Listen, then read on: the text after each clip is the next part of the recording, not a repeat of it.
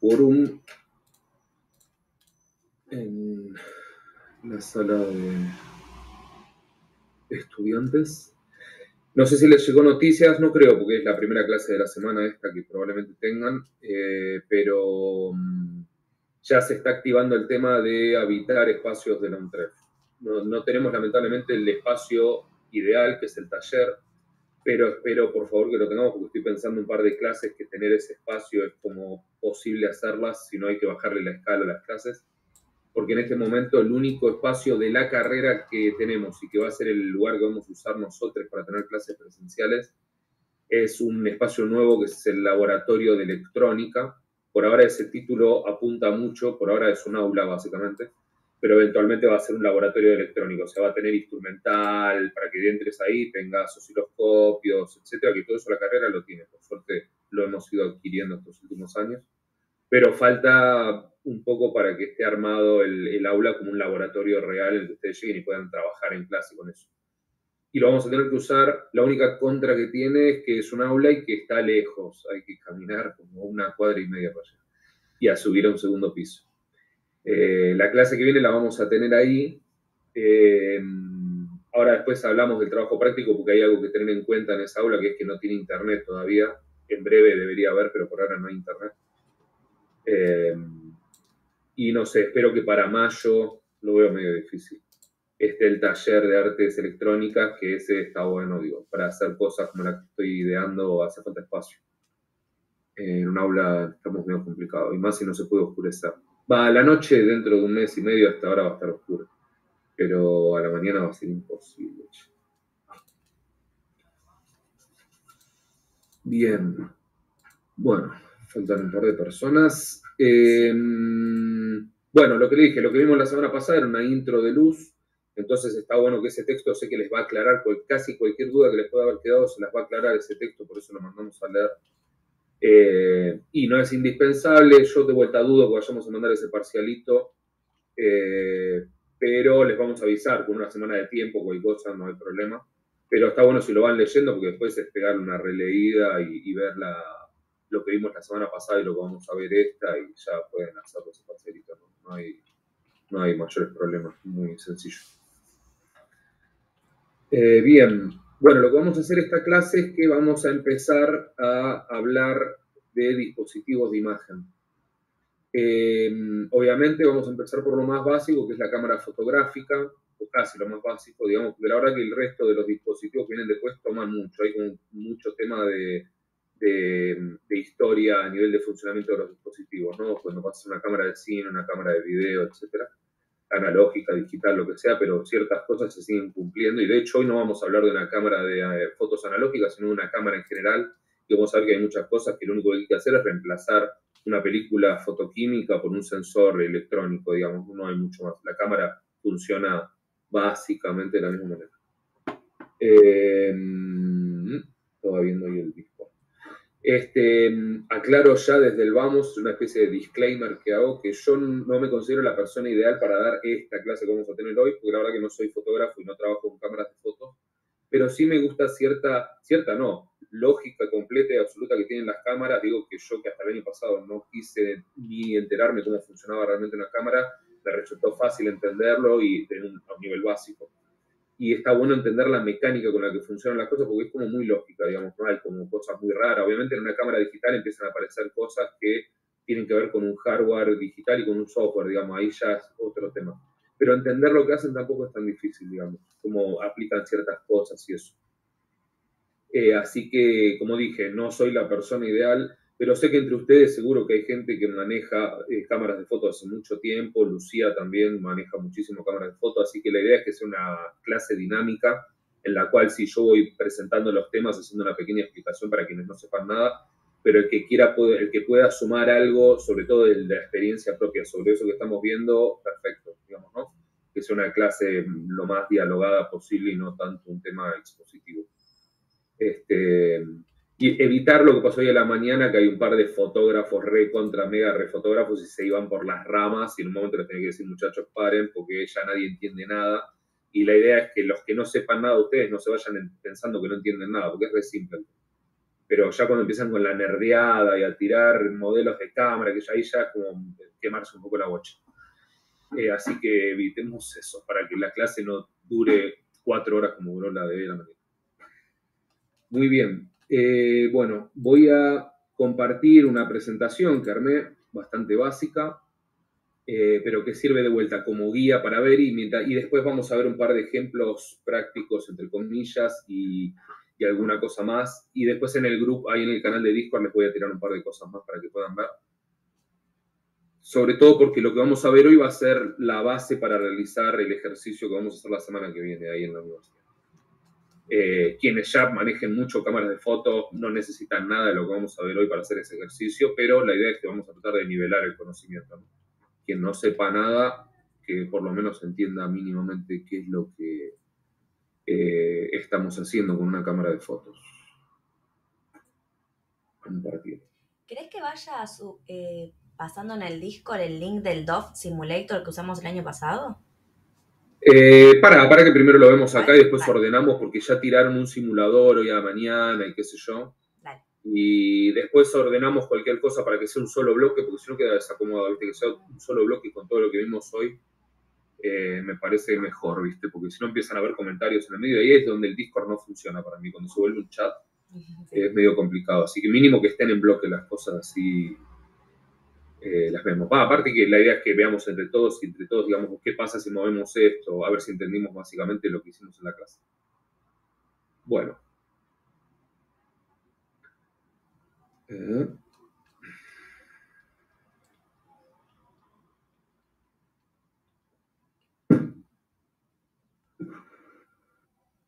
Ay, ay, ay.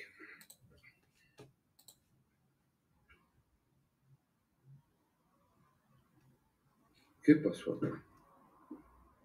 Vamos, loco. Fucking meat. ¿Nos vamos a tener que mudar al Zoom? No, no creo que sea. Yo estoy teniendo algún problema. Para mí que instalé, instalé una app para algo que les quiero mostrar hoy y me parece que me descontroló todo. esto es una estupidez, no me está dejando hacer pantalla completa de esto, que es lo más básico del planeta. No puedo entender. Para, voy a hacer algo, porque voy a hacer lo mismo que hice antes. Lo voy a poner en una pantalla de incógnito, porque indudablemente tengo algún bardo.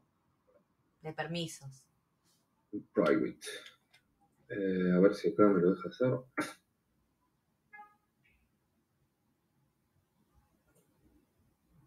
Sí, ¿ves? Ay, por favor. Bueno. Si estoy teniendo algún problema en los navegadores, tengo que borrar todo y no lo voy a hacer ahora para no generar quilombos, pero si entro con una ventana de incógnita me deja. Dejo de presentar esta y presento esta. Cuando abro una ventana de incógnito, como no tiene nada, no está tomando nada del historial, ni nada, ni nada, ahí las cosas andan de golpe. Estoy usando una computadora que la construyeron hace un mes, pero indudablemente no, ayuda en nada. Ahí va. Bueno, eh, principios básicos de la cámara y fotografía. Vamos a ver cosas muy básicas, ¿eh? Digo, pero la idea es que entendamos todo. Si alguien no entiende cualquier cosa de lo que estamos viendo, por favor aclárelo que probablemente incluso algún compañero o compañera eh, lo puede explicar mejor que yo. Digo, así que no se queden con ninguna duda de nada de esto. Bueno, el principio de la cámara, y de hecho ahí es donde toma su nombre cámara, es un dispositivo que se inventó, se inventó o se descubrió para mí, o sea, nunca leí la historia, pero estoy seguro de que esto fue más un descubrimiento que un invento, eh, del tema de la cámara oscura, de un dispositivo que apareció alrededor del Renacimiento, que lo que permite es, en una situación, digamos, de que haya una cámara oscura de un lado y del otro lado luz, básicamente, sea reflejada por el sol, sea producido lo que sea, cuando esos rayos de luz que se generan pasan a través de un orificio muy pequeño, se hace un recorte de ello y se genera una especie de proyección dentro de la eh, cámara oscura sin que haga falta ningún tipo de lente ni ningún tipo de dispositivo extra aparte de eso. Y de hecho, si ninguno de ustedes, o ninguno no, alguno de ustedes no experimentó una cámara oscura, después vamos a pasar un par de, de instructivos para poder armar una, porque es bastante sencillo y es muy flashero ver esto. De hecho, Hoy a la mañana hablamos de que hubo gente, hoy a la mañana, no sé si alguno de ustedes pasó, que de golpe se encontró con una cámara oscura en la casa, digamos, porque tenía una persiana cerrada en la cual había un pequeño orificio en la persiana que se había hecho por algún problema, y de golpe se dio vuelta y tenía la proyección de la calle en la, en la pared, digamos, ¿no? O sea que se da de forma natural esto. Obviamente, si uno toma ciertos recaudos a la hora de armarlo, como por ejemplo eso, que haya una oscuridad absoluta, eh, que haya un lente, digamos, por ejemplo, poder usar algún tipo de lente para que amplifique eso y que no sea algo tan eh, liviano a nivel de luz, se puede lograr. Esto funciona así por el tema que tiene la luz que vimos la semana pasada, que es esta especie de propagación rectilínea que tiene que mientras que no cambie el medio, o sea, por ejemplo, en el espacio o en el aire o en el agua, o sea, cuando no pasa un medio medio, realmente los rayos de luz se conforman de manera rectilínea, o sea, es una línea perfecta, se puede hacer, y por ejemplo, como funciona un láser, ¿no? Uno puede básicamente hacer una línea recta de cientos de metros y no, nada lo va a interrumpir a no ser que cambie de medio, ¿no? Que pase del aire al agua del aire al vacío, eso es lo que hace que lo desvíe de alguna manera, pero si no, es una línea. Em, ahí lo que está mostrando el gráfico de la mm, izquierda es bien básico el funcionamiento y porque esto que decíamos la semana pasada de que la imagen se invierte, digamos, porque bueno, tenés algo que tiene cierto tamaño y bueno, cuando los rayos pasan, se entiende que eso, los rayos que están marcados ahí son los que están en, en forma rectilínea pasando por ese orificio, pero hay rayos que están yendo en todas las direcciones, ¿no? O sea, así es como funciona la luz. Por ejemplo, hay un objeto en el medio de una sala, nos ponemos todos nosotros alrededor del objeto y todos lo vemos. Y todos lo vemos con distinta perspectiva. ¿Por qué? Porque la luz que está en el ambiente rebota contra el objeto y salen rayos para todas direcciones y los que nos permiten verlo son los que vienen del objeto a nuestros ojos directos. Eso es lo que nos permite verlo. Pero al mismo tiempo están saliendo rayos en todas las direcciones y por eso yo me muevo y veo el objeto. Lo único que cambia es la perspectiva, pero siempre lo veo. Porque hay rayos que salen y salen de forma eh, rectilínea perfecta y depende de dónde yo estoy, básicamente es el rayo de luz que me está permitiendo ver el objeto. Lo que está ahí representado son los rayos de luz que justo coinciden de forma rectilínea con ese orificio. ¿Se entiende hasta ahí? Digamos, pero al mismo tiempo hay otros rayos que están impactando sobre la pared de la, de la caja oscura, de la parte externa, digo, ¿no? Eh, otros que están yendo a cualquier otro lugar. Los rayos de luz, sea una vela o como en el otro caso, los rayos del sol que impactan sobre la figura de una persona se reflejan y salen en todas las direcciones, los que salen justo en la dirección de ese pequeño orificio ingresan a la cámara oscura y se proyectan contra la pared contraria y la imagen se invierte, por eso, porque es una línea recta. Entonces, lo que está arriba, cuando pasa por el orificio que está en el punto medio, va a parar abajo y viceversa. Y eso es lo que pasa en nuestros ojos también. O sea, la imagen en nuestros ojos entra de esa manera y nuestro cerebro la invierte para que la podamos ver como vemos, digamos lo mismo que hacen cámaras. Ahora vamos a ver que tienen adentro sistemas de espejo para poder enderezar la imagen porque queda invertida de manera vertical y de manera horizontal.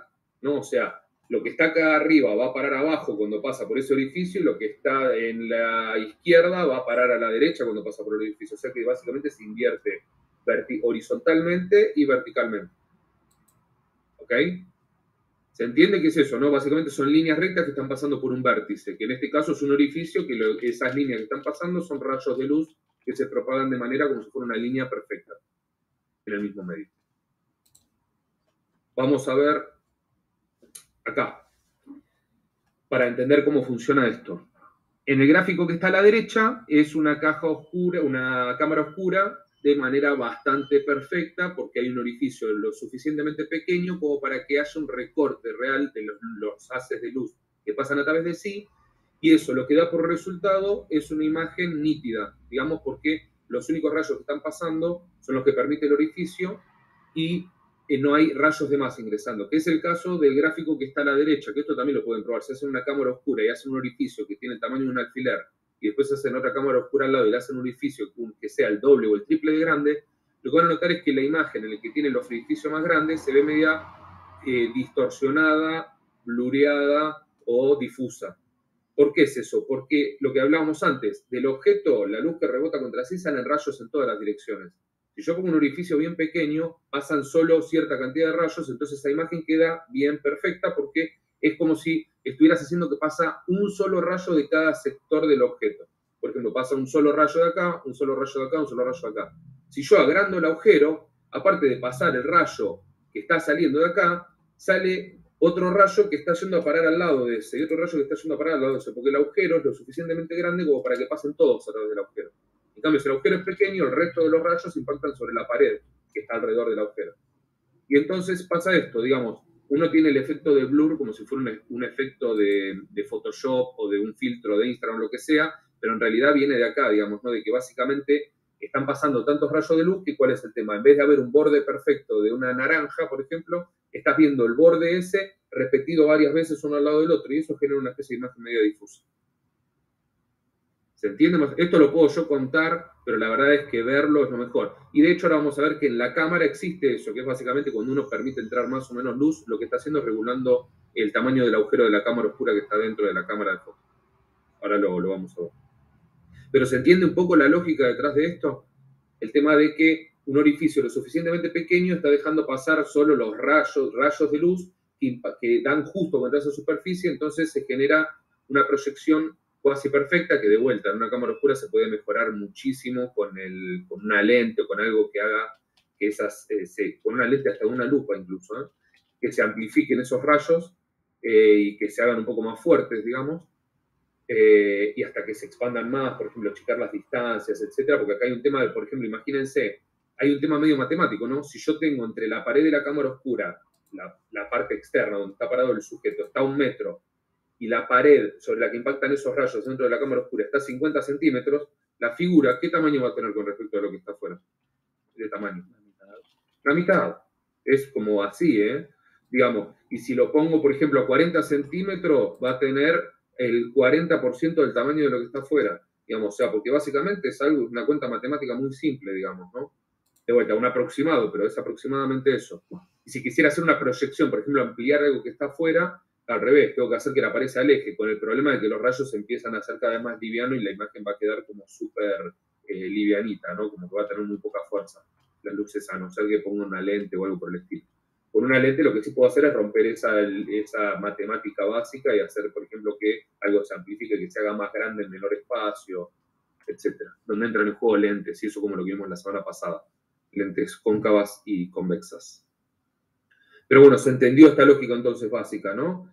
Digo, la podemos explicar acá mucho, les puedo mandar videos, que les voy a mandar lo que sea, pero si lo pueden experimentar de alguna manera, si nunca lo experimentaron, o si conocen a alguien que tenga una cámara estenopeica, por ejemplo, que es básicamente esto, con una especie de, ranura donde se le puede poner una placa fotográfica, fotoquímica, para que esta imagen quede impregnada directamente, eh, pruébenlo porque es, muy notable, digamos. De, hecho, si tienen ustedes una ventana que se cierra perfecto, es difícil hacer el, el, tema de la apertura, pero a veces lo que hacen es que se puede hacer en una ventana de vidrio que se tapa toda con un vinilo, por ejemplo, y en el vinilo ya es un agujerito, digamos. Y eso ya te genera una proyección. Van a ver que eh, vamos a ver ejemplos eh, en el video que les voy a mandar y en clases que van a ver con Rosana más adelante, que vamos a ver ejemplos de artistas que usaron eso para hacer obra y es muy interesante, la verdad. Sobre todo hoy en día, ¿no? que está todo mediado por la tecnología digital. Antes que vinilo también digo, para que se pueda hacer cartulina negra y tarde, ¿no? Como no, no a las 12 y media, pero cartulina negra funciona. Y si llegan a tener alguna habitación de esas que capaz son medias particulares y tienen una ventana muy chiquitita, mejor, ¿no? Llegan a tener tipo un ventilete redondo, una cosa así, o sea, donde puedan controlar realmente la superficie que hay que tapar. Es, si la logran oscurecer y lo único que tienen que tapar es eso, van a ver que es bastante notable. Eh, del otro lado, obviamente, tiene que haber una superficie eh, lo más lisa posible y lo más clara posible para poder ver esto, pero quizás hasta se puede fabricar con una cartulina blanca. Eh, después les vamos a mandar igual un par de, instructivos para que vean cómo se puede hacer una, una cámara oscura. Bien. Bueno, ese es el principio y lo que hizo que obviamente existió durante siglos prácticamente y después a medida que fueron habiendo avances, sobre todo en lo que fue la, la química y eso es que empezó a aparecer dispositivos que permitían utilizar ese mismo principio, pero en vez de usarlo para copiar, como se usaba en esa época, para calcar algo, por ejemplo, el Renacimiento, para hacer pinturas fotorrealistas, donde estuviera realmente la perspectiva respetada y etcétera, eh, directamente que haya un dispositivo tecnológico que capture la luz y la convierta en imagen, ¿no? Y no tener que depender del, talento humano y el dibujo y, y la pintura, ese tipo de técnicas para poder registrar la imagen. Lo que estamos viendo acá ya es una cámara bastante avanzada, porque al principio, aunque parezca mentira, las cámaras eran tan simples como las describimos recién, ¿no? Básicamente una caja negra con una lente adelante y una, una película fotoquímica en la cual, por algo que vamos a ver ahora, se destapa, se deja pasar la luz se vuelve a tapar para que quede impregnado. Esto que estamos viendo acá ya es una cámara reflex, que capaz algunos de ustedes lo escucharon nombrar, pero no saben identificar realmente lo que es una cámara reflex, que fue un avance que se hizo, que hoy a la mañana estuvimos hablando de que no es realmente un avance, sino que realmente aportó algo distinto eh, para poder trabajar, que es el tema de que uno antes tenía que sacar una foto y tenía un punto de visión que era parecida a la lente que tenía la cámara, pero no era lo mismo. ¿no? O sea, básicamente vos tenías la lente de la cámara y vos estabas mirando por encima, por el costado de eso, por un visor, veías más o menos la, foto que sacaba la cámara esa, pero no veías exactamente la foto que estaba sacando porque no tenías el mismo punto de vista que la lente. Y lo que se inventó fue un sistema que lo que hace es que vos por un visor puedas ver mediante un sistema de espejos, ahí obviamente la, la idea de cámara oscura no está representada, ¿no? Porque los rayos es como si entraran y pasaran, y ya sabemos que tienen que pasar por un orificio, invertirse, etc.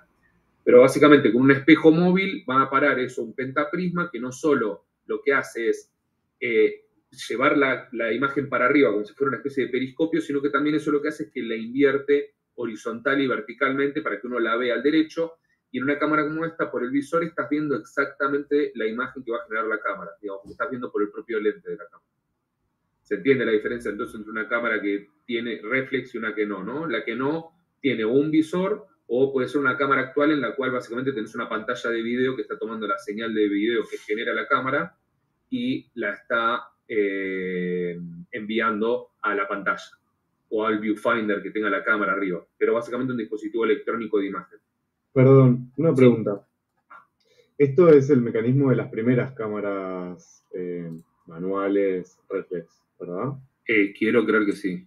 Claro, esta que está mostrando ahora es lo que se llama una cámara mecánica. Claro, claro. Que entonces ese movimiento lo haces cuando apretas el botón. Exactamente. Ahora igual vamos a ver el... ¿Cómo? Perdón. Que son electrónicas, porque Javi conoce más cámaras analógicas que son electrónicas, que esas sí tienen mecanismo y funcionan con pila, y esas sí es eso, ¿no? Lo que decía él, es un dispositivo que te está mostrando. Claro, a ver, acá no nos estamos centrando en cómo se mueven las cosas por adentro, sino básicamente cuál es la mecánica básica. Acá no se preocupen por ahora entre si lo mueve uno de forma mecánica con un botón o si lo mueve una pila con un motor electrónico. Claro, pero mi pregunta era que el obturador en este caso vendría a ser el espejo y no es una cuestión... Eh, no, no, no, no, no, no es el espejo. Por eso, esperen que ahora vamos al obturador, porque todavía ni siquiera dijimos lo que es obturador. No nos apuremos y no confundimos a la gente que no conoce esto. Acá podemos ver más o menos los distintos eh, elementos que forman parte de la cámara. O sea, están primero las lentes representadas eh, dentro de lo que es el objetivo y adentro del objetivo hay algo que se llama diafragma. Tranquilos, igual que ahora vamos a ver paso por paso qué es lo que y qué, con qué eh, función cumple cada elemento dentro de la cámara. Eso después puede que pase por otro sistema más de lentes y va a parar, en este caso, los rayos de luz que están entrando a un espejo móvil que en realidad es un espejo medio translúcido, o sea, está reflejando una parte pero también está dejando pasar una parte. Detrás de eso hay un obturador, está marcado ahí, o sea, hay un obturador que es básicamente una especie de persiana, ahora la vamos a ver en detalle, que lo que hace es que está protegiendo el material fotosensible o el sensor, como figura en el gráfico que está a la derecha, para que eso no sea impactado por la luz, porque básicamente si está siendo impactado por la luz, se está generando una fotografía. Y vos lo que querés es que esa fotografía se genere en el momento que vos le das clic a la foto, ¿no? Lo que muestra, por ejemplo, el, gráfico que está a la derecha es que después hay un momento en el cual eh, el espejo ese, cuando uno está disparando la foto, el espejo se mueve, deja pasar la luz de lleno, el obturador ese se abre, que vendría a ser esa persiana roja que está representada ahí, y eso va a parar contra, en ese caso, un sensor, que puede ser un CCD un CMOS, que podemos ver lo que es cada uno, o sobre un material fotosensible. Y ahí es donde se completa la foto, o sea, la foto se materializa de manera analógica o digital. O sea, tienen que pasar esas cosas. Trancas, igual que ahora vamos a ver bien cómo funciona un diafragma, cómo funciona un obturador, etc. Pero se entiende, ¿no? Básicamente hay una situación previa que es para que uno pueda ver lo que va a sacar la foto con ciertos ajustes que definen varias cosas que vamos a ver que tienen que ver con la producción de fotos y después el momento del disparo que uno está dejando pasar esa luz hacia donde va a quedar registrada. ¿Ok? Bien. Bueno, ahora vamos a ver varias cosas que tienen que ver con todo esto que estuvimos viendo recién y que tienen que ver con eh, eh, características que tiene la fotografía que hay que tener en cuenta a la hora de manejar una cámara de fotos. Digo, sobre todo cuando uno está usando todas estas cosas de manera manual, ¿no? Capaz uno está acostumbrado con un celular que lo saca y saca una foto y la foto sale lo mejor posible, pero porque está tomando un montón de decisiones automáticas la cámara con respecto a uno. Eh, vamos a ver qué pasa cuando eso no es automático.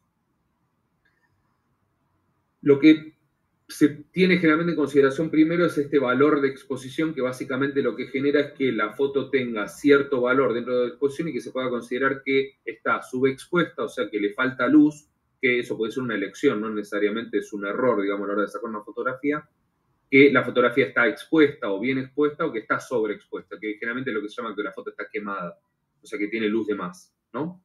Que de vuelta puede ser una elección a la hora, de un a la hora en que un fotógrafo genere una foto, no necesariamente es que la foto salió mal, pero capaz en una, no sé, en fotoperiodismo sí es que la foto salió mal, y salió quemada porque después no la puedes usar para el fin que tenía pensado.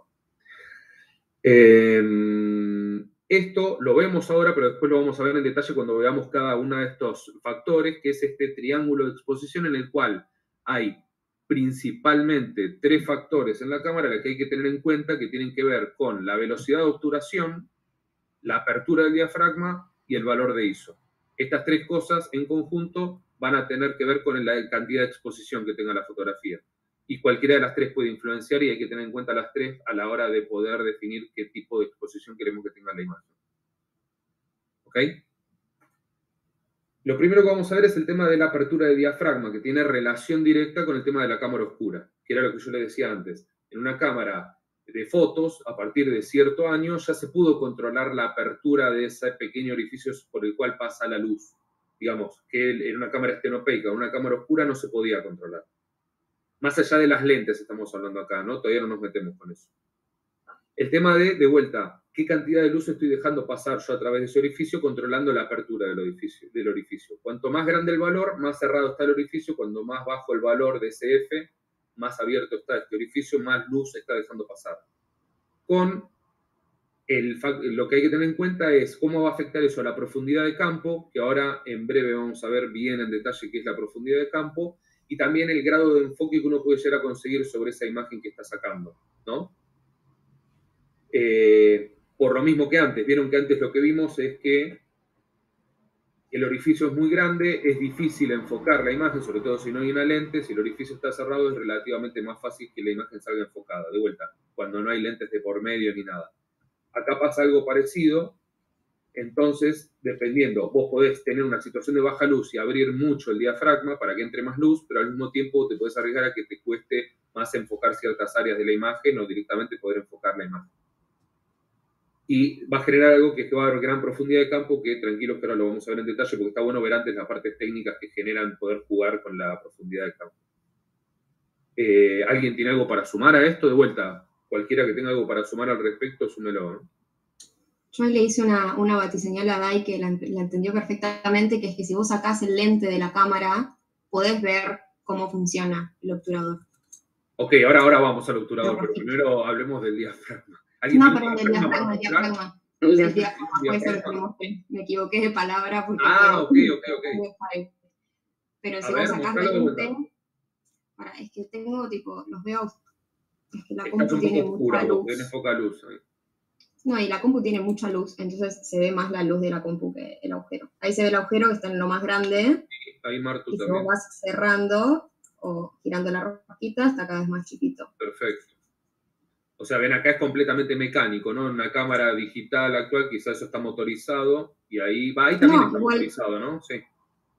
Las cámaras digitales eh, también lo puedes hacer manualmente. Tienes que encontrar la rosquita correcta, pero tienen el automático. Pero igual también si agarras una cámara digital y la mirás, tipo te la enfocás y vas corriendo también se ve. No, no, no, está bien, pero tienes que tener un lente externo, digo, porque hay cámaras digitales, digamos, que son hogareñas, digamos, no tienen control de, de IRI ni nada de eso. Eh, ok, perfecto. Eh, bueno, si no me equivoco, diafragma e iris son básicamente equivalentes, ¿no? Sí. Sí, son lo mismo. Perfecto. Y siempre es eh, eso, ¿no? Como más chiquito, mejor calidad, mejor se va a ver. Siempre todo es mejor si está cerrado el diafragma que si está abierto.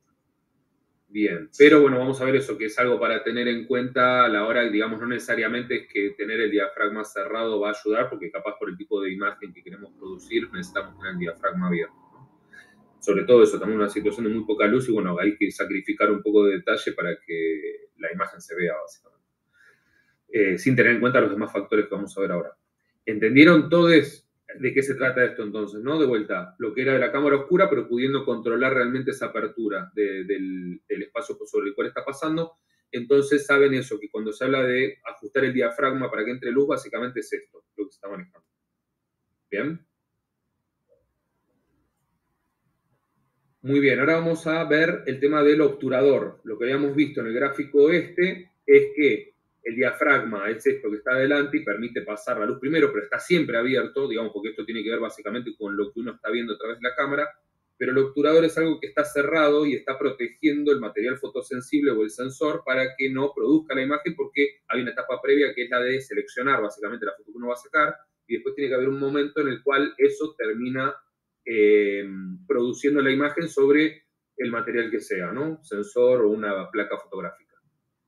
Básicamente funciona en el gráfico que está acá abajo a la, izquierda, a la derecha, podemos ver que es como si fuera una especie de cortina que se va abriendo y va dejando eh, en algunos, hay otras que funcionan de otra manera, otros obturadores que funcionan de otra manera, y básicamente lo que hace es exponer la película o el sensor que está detrás a la luz que ingresa, básicamente, ¿no? Cuando uno ya seleccionó y realizó eh, eh, la acción de disparar la foto, por ejemplo. Arriba hay una foto en la cual está representado directamente un sensor de cámara digital que no tiene puesta la lente, en la cual está eh, la primera foto con el, obturador abierto y en la otra con el obturador cerrado. La situación natural obviamente es que el obturador esté cerrado, ¿se entiende? ¿no? Digamos, porque nada más la idea es que pase la luz cuando uno saca la foto. Eso es lo que produce la imagen. Eh, Bien, y lo que tenemos en el gráfico que está a la izquierda es una explicación muy básica de cómo influye el tema del obturador, porque bueno, en el diafragma no hay tiempo, digamos, ¿no? O sea, esto lo que, el diafragma uno lo que está haciendo básicamente es que está manejando una apertura de un orificio y cuando selecciona la apertura eso queda abierto. Pero en el obturador lo que sí eh, forma parte del, del, manejo del obturador, casi exclusivamente, es la cantidad de tiempo que ese obturador está abierto. Entonces el obturador se puede abrir y cerrar muy, muy, muy, muy rápido, o sea, eh, en un periodo de, tiempo muy corto, o puede estar abierto más tiempo. Y lo que va a influenciar básicamente es lo que estamos viendo acá en el gráfico este, que lo que está diciendo es, la obturación puede ser más lenta, o sea que quiere decir que el obturador va a estar abierto más tiempo, o va a ser más rápido, el obturador va a estar abierto muy poco tiempo, por ejemplo, una milésima de segundo.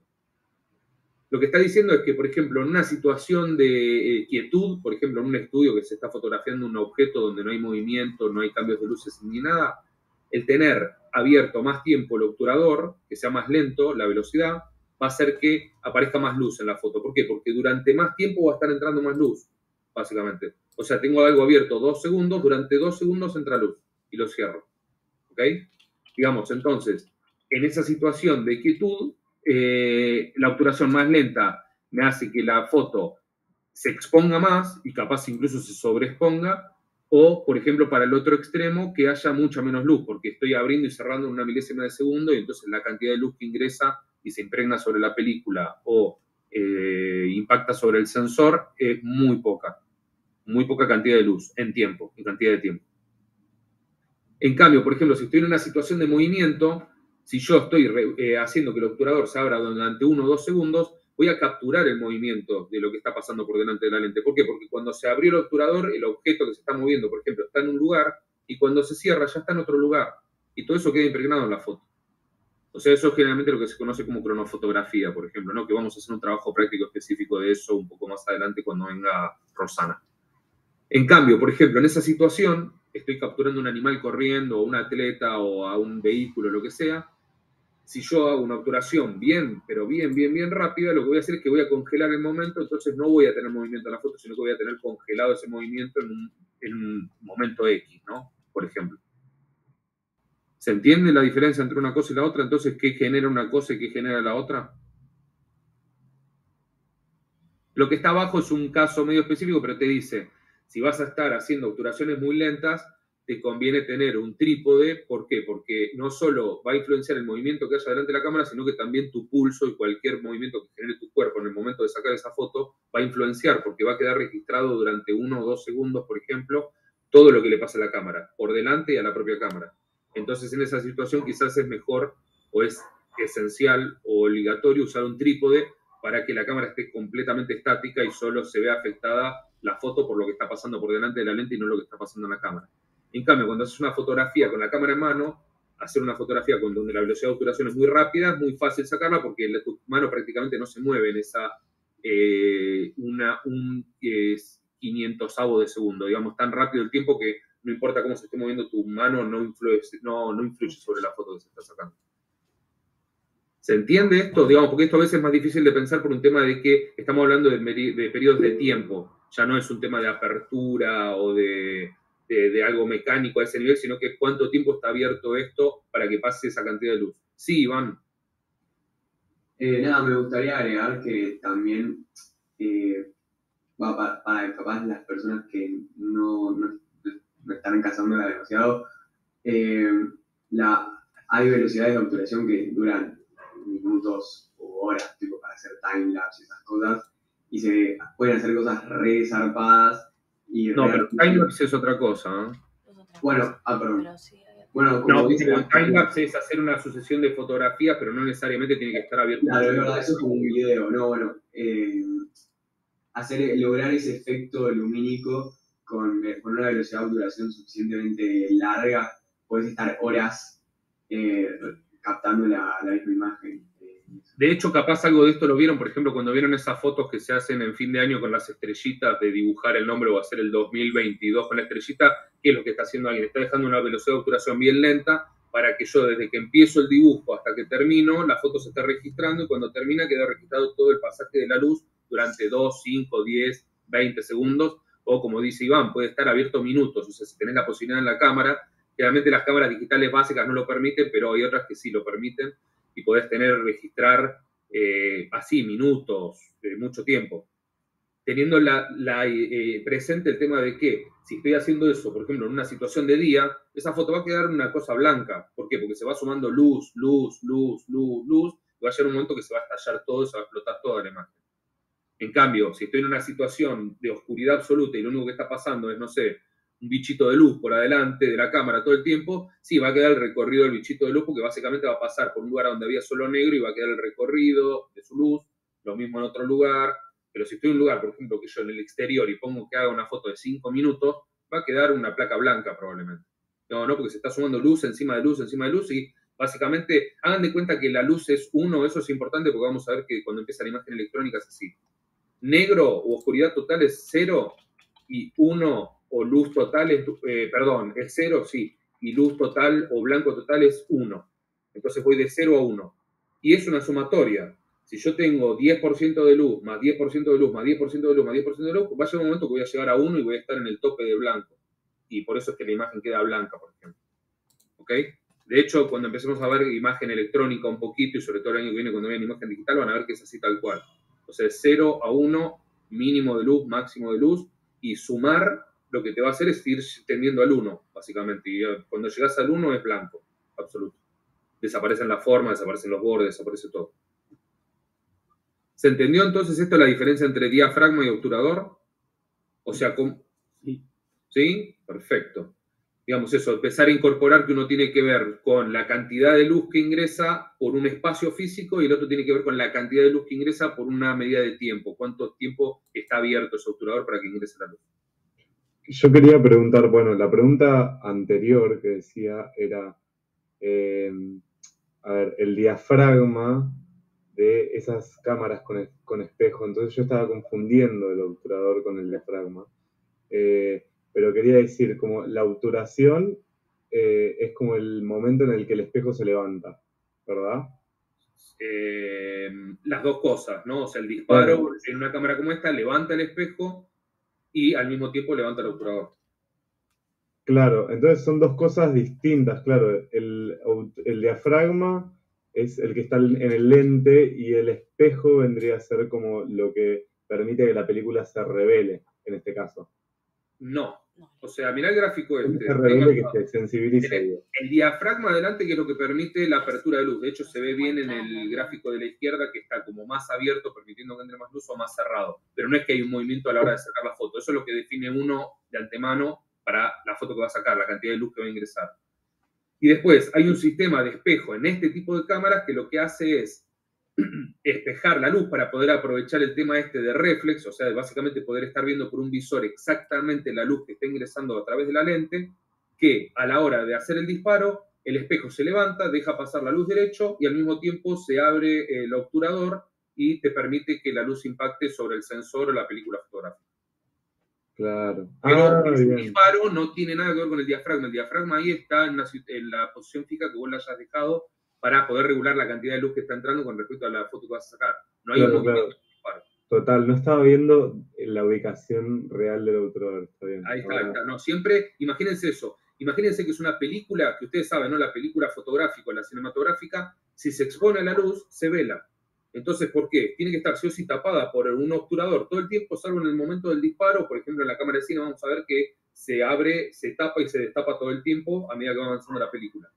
En el momento que se destapa empieza a entrar luz. O sea que si yo eso lo tuviera tapado todo el tiempo, se velaría la película o el sensor me estaría marcando, el sensor de la cámara estaría siempre enviando una especie de señal blanca, serían todos los píxeles blancos, básicamente.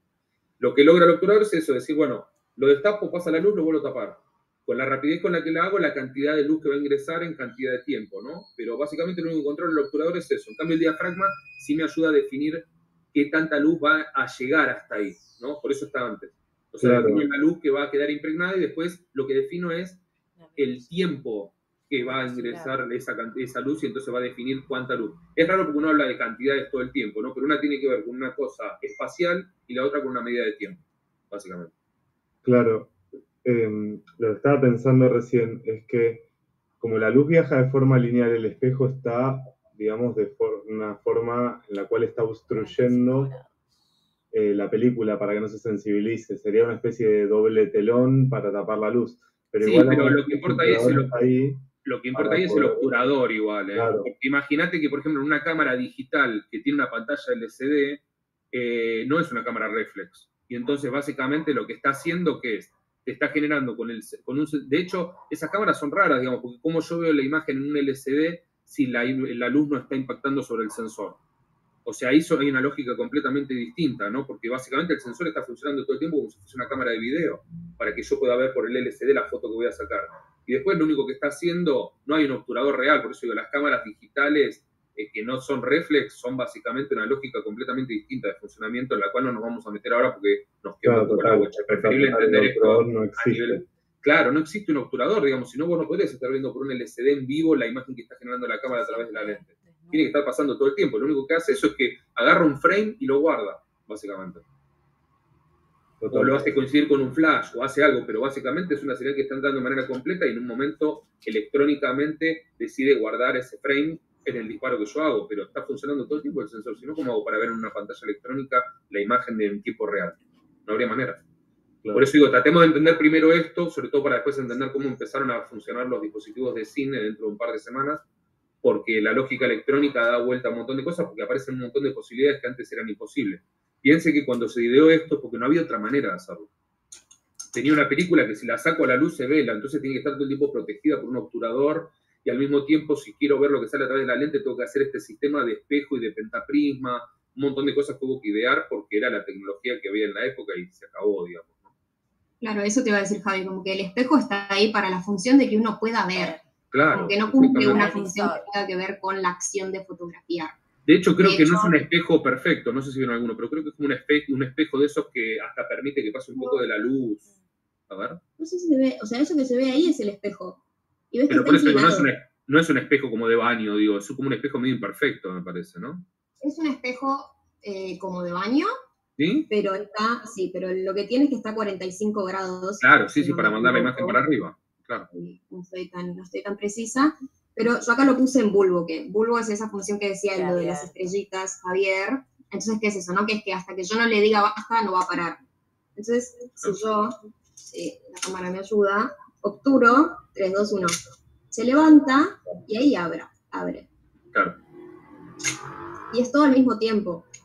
Eh, sí, pero digamos que si no fuese una cámara reflex, si no tuvieras ese espejo, el obturador va a funcionar exactamente igual. Digamos, vos vas a estar mirando por un visor, vas a tener, por ejemplo, como esas Leica son, eh, y ese lado es, esto es el obturador. Ahí tendría que estar la, película apoyada, en teoría, ¿no? Claro, acá está apoyada la película o el sensor, lo mismo, y si yo aprieto, se levanta. Ahí se abrió, ¿no? Acá aparece la luz y se ve mi ojo, por ejemplo, porque la luz está pasando. De hecho, en las cámaras digitales es fácil ver que no hay obturador, porque si ustedes le sacan el objetivo a la cámara, de golpe está el sensor ahí detrás. No sé si lo vieron. Ah, si alguno de ustedes tiene una cámara digital y lo quiere mostrar, se terminan de sacar las dudas. Pero digamos, si tiene una cámara digital, miren, ahí tiene una eh, Lucía, miren. Y bueno, es una cámara digital y le sacó el objetivo y ahí detrás está el sensor. O sea, es literal el sensor lo que está ahí, ¿no? Sí. El CMOS, supongo que será ese. Después podemos ver la diferencia entre CMOS y CCD, que ya casi no existe el CCD para, para cámaras de foto. Pero digamos, imagínense que ahí cambió la lógica completamente, por esto de que digo que si hay una pantalla electrónica, la luz tiene que entrar de manera constante y ese sensor me tiene que generar un feed de video, básicamente. Por eso digo que estas cámaras son como una cosa híbrida ya hoy en día, ¿no? Como tienen la lógica de una cámara de video, pero sacan fotos, pero por eso también filman video, digamos, como que se homogeneizó bastante la tecnología de producción de imágenes. Y las cámaras de video permiten sacar fotos, en fin. Eh, bien. Quedó entonces en claro la diferencia entre diafragma y obturador, digamos ahora sí, ¿no? Estuvo bueno las preguntas,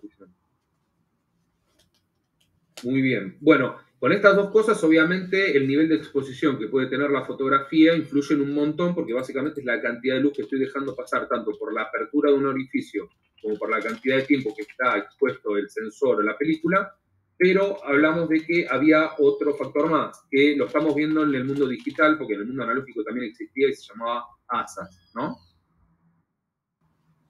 ¿Alguien me lo puede confirmar? ¿Sí? Bien. Sí, sí, ISO o ASAS. Sí, hasta 1987 era ASA y después ISO.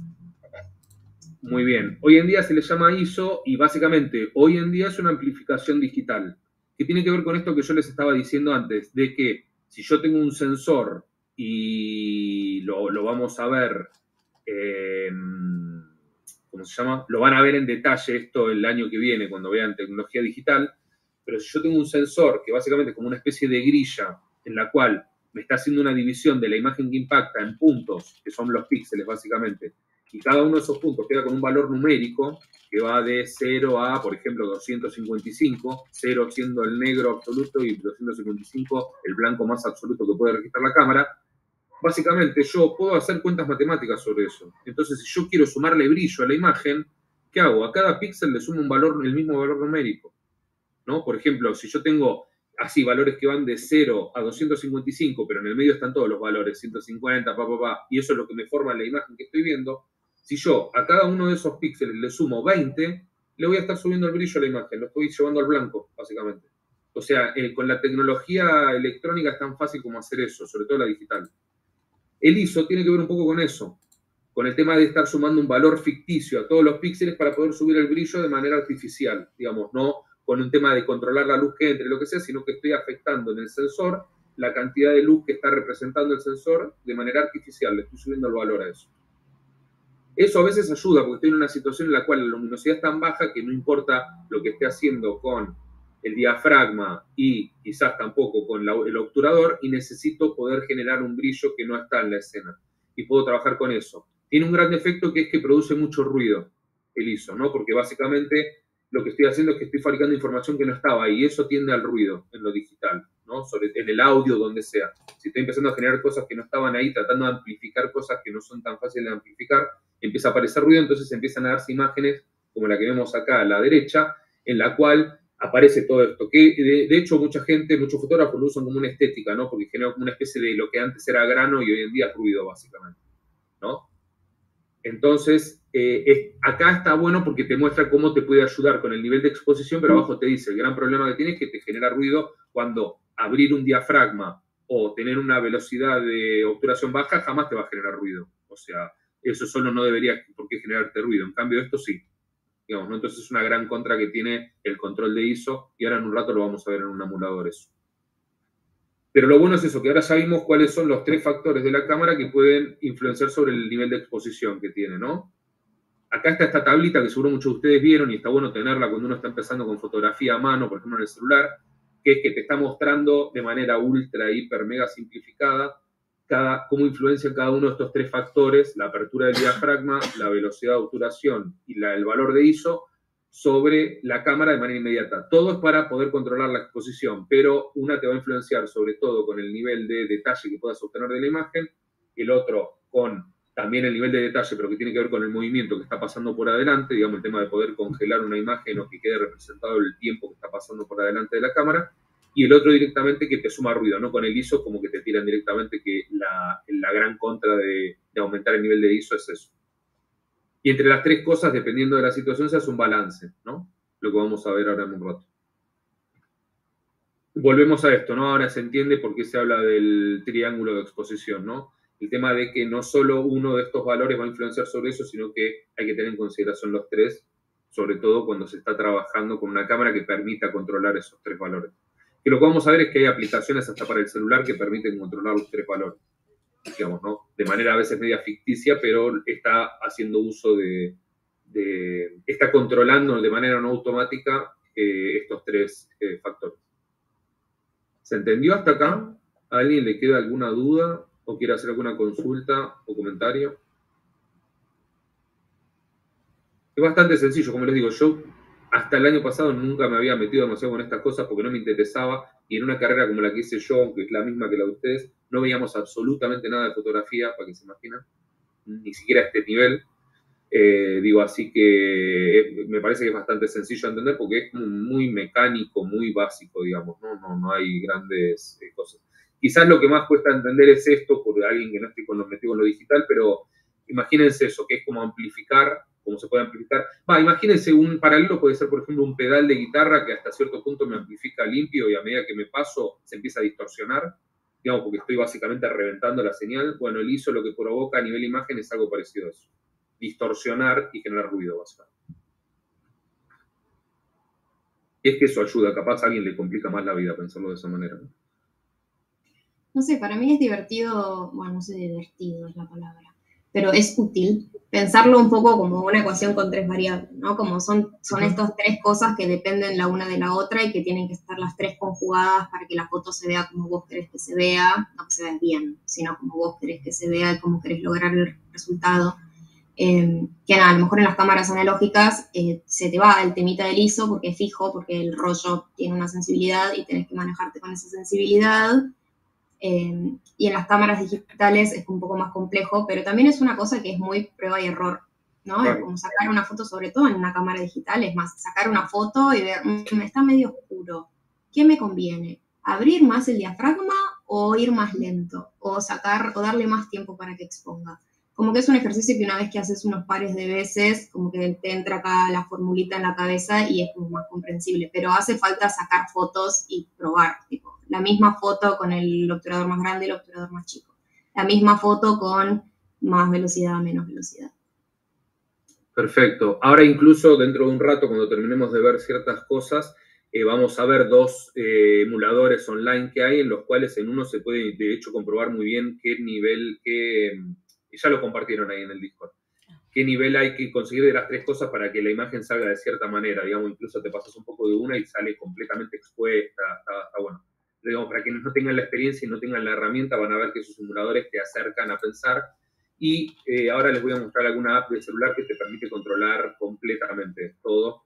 Probablemente algunos de ustedes ya conocen ese tipo de apps, pero las van a tener que usar quizás para la semana que viene si no van a estar usando una cámara. Y van a estar usando eso.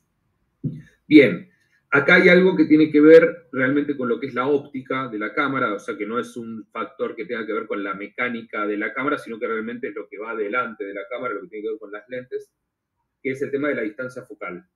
La distancia focal es, vieron que generalmente van a ver que una lente es de 100 eh, milímetros, de 300 milímetros, etc.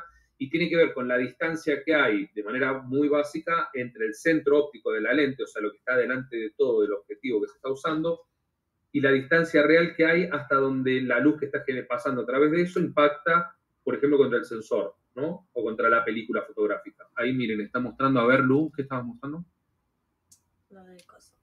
Bien, ahí está mostrando la distancia que hay entre el sensor, que es donde tiene el dedo ahora, y la, punta de la lente. ¿Eso que de cuánto es? De, de 100 milímetros, ¿eh?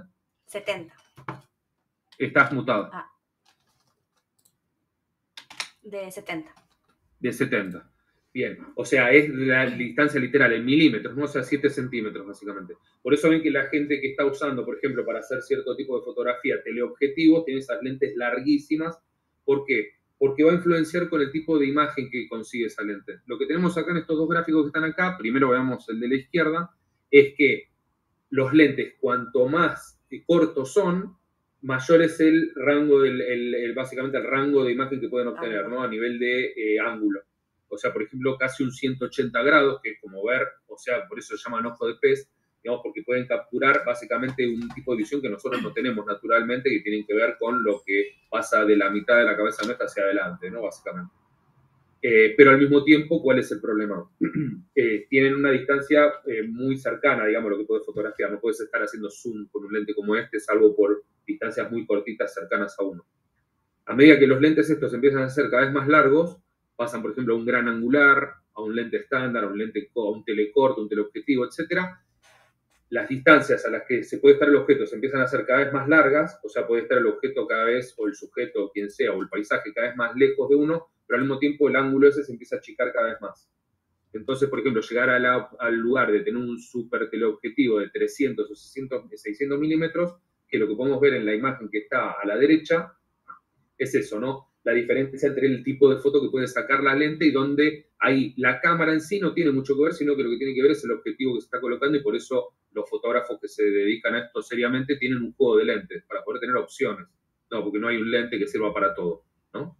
Entonces, con uno de 18 milímetros estoy tomando el paisaje entero con la casa de fondo, a medida que empiezo a cambiar la lente, me empiezo a acercar cada vez más y al mismo tiempo empiezo a achicar porque, claro, estoy empezando a agarrar en vez de eh, no sé, un ángulo de 50 grados desde donde estoy yo, me empiezo a achicar y claro, una vez que me acerqué a la casa ya estoy agarrando capaz 10, 15 grados con toda la furia.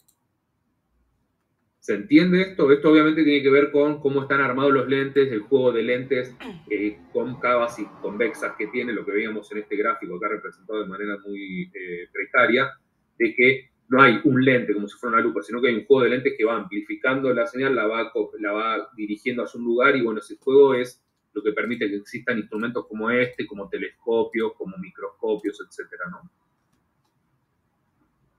¿Se entiende esto? De vuelta, es para los que no saben nada, que sepan que cuando aparece el tamaño de la lente, que obviamente, por ejemplo, en una celular se fijaron el tamaño que tiene, debe ser bastante pequeñito.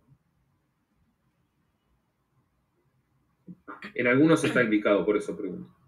Sí, igual los celus son muy engañosos, porque ahora la tecnología lo ha hecho todo muy pequeño, entonces a lo mejor te tiran un 130, pasan de un 135 a un 35, pero es todo muy fake. Digo, es como sí, pero generalmente el 135 es eh, algo completamente digital, me parece que no, es, no tiene que ver con la lente en sí. ¿eh?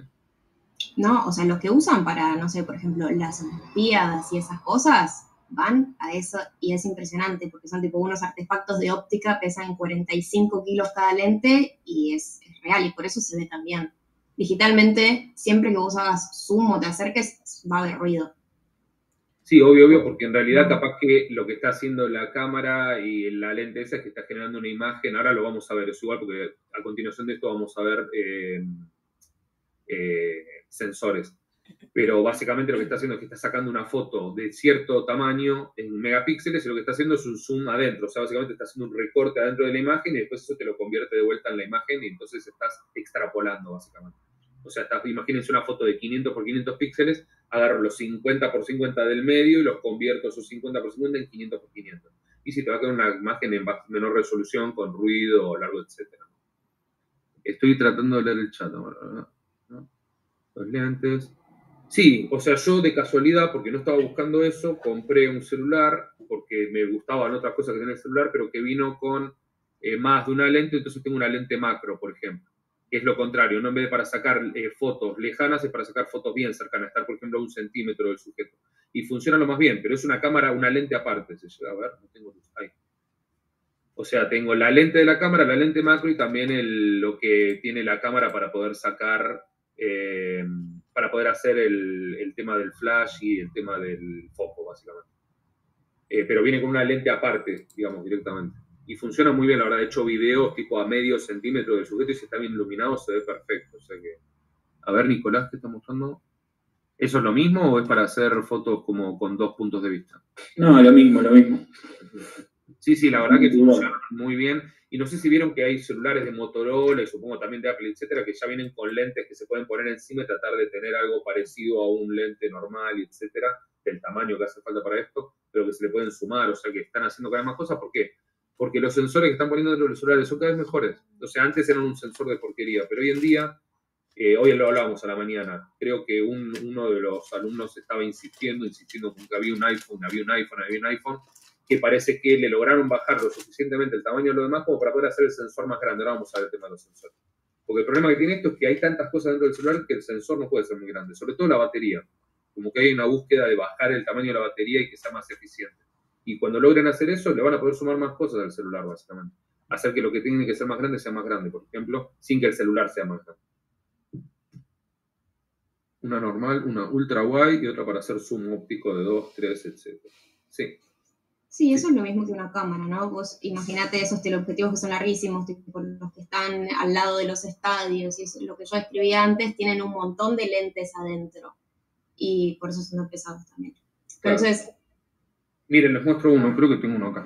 Yo no tengo Como lo que estamos acostumbrados a cámara acá, y tenés un lente que te sirve para varias situaciones, ¿no? Como que va de 35 a 105 y eso tiene como muchos lentes adentro y eso hace que se vea menos mejor. Exacto, eso tiene un montón de lentes ahí adentro, pero eso es fijo o lo puedes, lo puedes hacer más zoom todavía.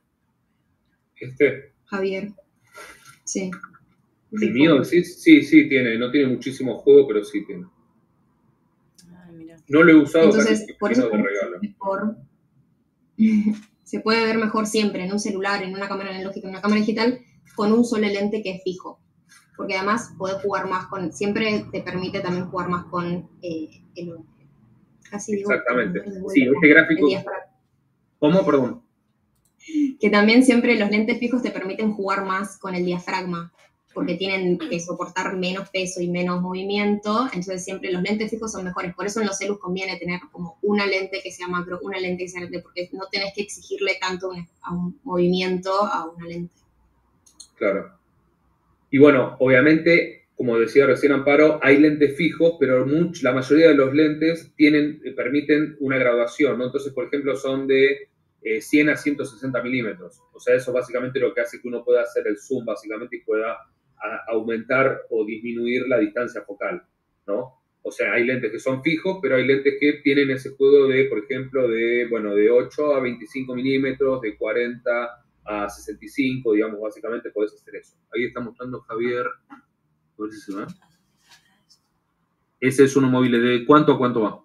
Este va de, es un 16X y va de 5,5 a 88 milímetros. Ah, un montón, ¿verdad? Sí, está pasando de un casi un ojo de pez, digamos, de lo que la profundidad que tiene un ojo de pez a un tele corto. Claro, y esta, esta es una cámara mini EV que de hecho tiene sensor. O sea, es, está entre, ya es digital, digamos, pero funciona así.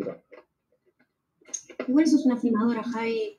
O sea, fuera sí, es otra cosa. No, es lo mismo. Estamos viendo que es lo mismo. Seguro que te deja sacar foto incluso eso, ¿no? Sí, sí, sí, puedes sacar foto. Exactamente. Sí, sí, hoy en día se cambió todo, que el, el, funcionamiento de la cámara en sí tiene que ver más con el registro de lo que registra hasta cierto punto y con ciertos parámetros de ajuste, pero después la lógica interna de cómo funciona y de formatos, ¿no? Del tema de que una cámara de video tiene que respetar ciertos estándares, una cámara de foto pero no, porque digamos, una cámara de foto puedes hacer 4K, Full HD, por eso digo, se está blureando mucho el, el tema de la tecnología interna de las cámaras, es prácticamente la misma en todas. Base térmico. Bien, bueno, Vimos entonces el tema este, les quedó más o menos claro a todos, ¿no? ¿De qué se trata esto? De vuelta, es algo que capaz van a tener que experimentar ustedes, pero por lo menos saber ahora ven ese numerito y entienden mínimamente a qué se refiere. El numerito es en, milímetros. Y bueno, ahora que ya hablamos bastante, terminamos de hablar del tema del sensor. No nos vamos a meter con el funcionamiento del sensor porque es algo complejo y está bueno verlo en detalle, eh, pero saber que obviamente, dependiendo de la cámara que estoy usando, el tamaño que va a tener el sensor y eso va a influenciar hasta cierto punto en el tipo de imagen que se saca, digamos, ¿no? O sea, ahí, dejé unos gráficos que dicen, el, texto de costado dice, el tamaño del sensor de la cámara y la resolución no siempre están relacionados con la calidad de la imagen. El tamaño del sensor y el tamaño de los píxeles es lo que marca la diferencia. ¿Qué quiere decir esto? Yo puedo, vieron que las cámaras se dice que el sensor tiene tantos megapíxeles. O sea, básicamente es una cuenta matemática que sale de la cantidad de píxeles de la línea de píxeles horizontales, la cantidad de píxeles por la cantidad de píxeles verticales, y eso es lo que da la cantidad de millones de píxeles que tiene el sensor, y bueno, eso se baja a megapíxeles, o sea, millones de píxeles. 2 megapíxeles, 5 megapíxeles, 10 megapíxeles. ¿Cuál es el tema? Si yo tengo dos sensores que tienen la misma cantidad de megapíxeles, o sea, tienen la misma cantidad de puntos finitos encima de la superficie, y uno mide el doble del otro, el que es más grande va a ser un mejor eh, guardado de la luz, básicamente. O sea, va a funcionar mejor con respecto a la luz porque tiene mayor superficie. O sea, si yo tengo un sensor chico, tengo que hacer que la imagen que se está generando a través del teleobjetivo termine en algo bien chiquitito.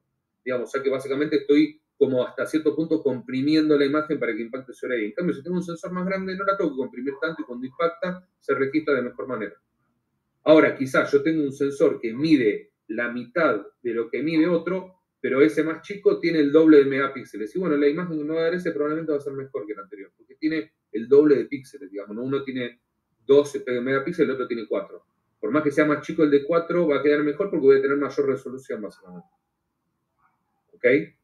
Esto obviamente no es como las lentes que puedo elegir la que quiero y qué sé yo. Cuando elijo la cámara, si es algo a lo que le quiero prestar atención, tengo que prestar atención cuando la compro porque el sensor que viene es el sensor que va a ir. En este tipo de cámaras, digo, ¿no? En algunas cámaras de cine se puede cambiar el sensor, etcétera, de las digitales actuales.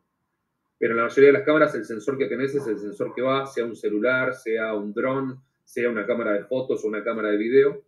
Entonces, ahora por lo menos se entienden y bueno, generalmente lo que se busca cuando uno está trabajando con fotografía así bien, de manera profesional y que yo, es que sea mínimo un full frame, o sea, que agarre el formato completo o más grande incluso, digamos, ¿no? Porque ahí se supone que vas a tener muy buena calidad de registro de la luz y te va a generar una imagen muy limpia, un poco ruidosa, etcétera, etcétera, etcétera. Sobre todo porque el CMOS es un sensor muy ruidoso, también después lo van a ver, pero tiene un tema de amplificación que hace que cuanto más chico sea, eh, más ruidoso se vuelve la imagen. De, por eso los celulares hasta hace unos años eran bastante malos y hoy lo lograron mejorar muchísimo pero el, sensor que está dentro de un celular es de lo más pequeño que puede haber a nivel de CMOS por un tema de tamaño físico, nada más por eso.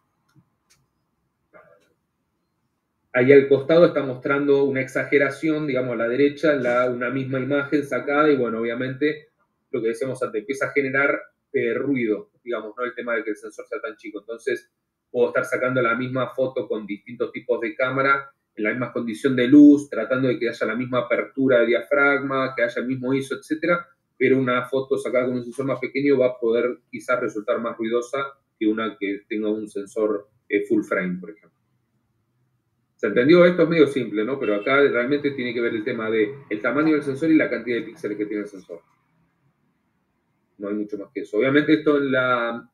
Eh, ¿Cuál es el equivalente a esto eh, con la fotografía analógica? ¿Cuál les parece que es? El obturador, bueno, la película en realidad. El tamaño de la película, literal. O sea, si yo, lo mismo que en el, los formatos de fílmico que vamos a ver dentro de un par de, semanas, si yo tengo una película que tiene 8 milímetros de ancho, probablemente va a resultar la imagen un poco menos calidad y un poco más ruidosa que si tengo una que mide 35 milímetros de ancho, que es más del triple. Claro, cambia el formato también además, ¿no? Como también el formato. cuadrado y después Sí, sí, sí, también cambia el formato, pero ahí hay un tema de que por más que uno se imagine, ah, es una película analógica, entran infinitos puntos. Minga, no entran infinitos puntos, no existen infinitos puntos en una cosa eh, física. O sea, costará contarlos, pero son finitos. Y si tengo más superficie, tengo más cantidad de puntos y tengo más calidad. Digamos, no hay que quedar. Digamos, por eso es que se sigue al día de hoy diciendo, no, la película de Tarantino se filmó en 70 milímetros y todos los nerdos de eso hacen wow y se va a ver porque tiene que ver en parte con eso, ¿no? que usó como la mejor calidad de película fílmica que hay para hacer una película. En cambio, eh, Spielberg va y la hace con la mejor cámara digital que hay disponible. Y después, cuando la ves en el cine, si no le hicieron el tratamiento correcto, se ven las dos iguales. Claro, pero igual está clarísimo, perdón, está clarísimo el, como la diferencia entre la película y lo digital, como entre el píxel y el punto, el grano de la película. digamos, porque ¿cuál es el tema? Que la película la digitalizan y la tratan mucho. Entonces, por ejemplo, no sé si alguno de ustedes vio Euforia, por ejemplo, de la serie de HBO tan en boga, y la gran mayoría de lo que está ahí producido está producido en fílmico. Cuando estás viendo HBO por la pantalla HBO no te das cuenta que está hecho en fílmico. O sea, es más fetichista que el resultado real, porque está tan tratado, se ve todo tan explotado los colores, porque está como... igualmente hablo, perdón, hablo de la foto particularmente. Okay. Ahí Marco estaba mostrando los dos formatos, el formato medio y el 36. Bien, perfecto como digo, hubo un traspaso, se pasó a lo digital y pasó a ser del tamaño de la película al tamaño del sensor. No hubo tantas diferencias a ese nivel. Con la diferencia que la tecnología va mejorando y los sensores son cada vez mejores independientemente del tamaño, ¿no? Pero no hay con qué darle. Con exactamente la misma tecnología y la, exactamente la misma cantidad de píxeles, cuanto más grande sea el sensor, mejor va a registrar la luz, menos ruidoso va a ser eso. Muy bien. ¿Cómo estamos hasta acá? Bien, ¿no? Como digo, todo entendible, aún los que no andan en fotografía, pero bueno, por favor, si alguien no anda en fotografía y siente que no está entendiendo algo, pregunte que lo reexplicamos como haga falta, ¿eh? no, se queden con dudas. Que es medio básico y posta, salvo lo que van a ver conmigo y con Rosana en esta materia, no sé si van a ver mucho más de fotografía en la, carrera, pero por lo menos algo. Eh, bien, eh, lo que vimos hasta ahora son muchas cosas que tienen que ver con los seteos de la cámara, ¿no? Lo que uno puede setear a nivel de cantidad de luz que ingresa, etcétera, etcétera, etcétera. Pero ahora vamos a ver cómo eso influye sobre el tipo de imagen que se puede componer, ¿no? Y uno de los factores principales con los que se trabaja en fotografía es el tema de la profundidad de campo, que para los que no andan en fotografía y no lo han experimentado, esto puede ser un poco más difícil de entender. Que básicamente es el área que tiene que ver con la lejanía eh, mía con respecto a la lente de la cámara que se puede enfocar, básicamente, ¿no? Se habla de que hay poca profundidad de campo, no por un tema de qué estoy pudiendo enfocar yo a nivel de distancia de la cámara, sino básicamente cuánta extensión puedo mantener en foco de eso. Sea que lo que está enfocado está cerca mío, a 10 metros mío o a 30 metros mío. pero básicamente saber que, por ejemplo, yo estoy con un teleobjetivo y estoy haciendo foco sobre algo que está a 30 eh, metros mío y solo está en foco los 50 centímetros que están delante de eso y los 50 centímetros que están detrás de eso. Todo lo que está por fuera de ese rango está completamente fuera de foco. Y bueno, ahí hay poca profundidad de campo. ¿Se entiende eso? En cambio, si yo con una lente que tenga y con los seteos que tiene la cámara estoy pudiendo hacer una foto completamente chata en la cual tengo unas flores cerca mío, un alce a 5 metros y un fondo a 10 metros y todo está en foco, tengo una gran profundidad de campo.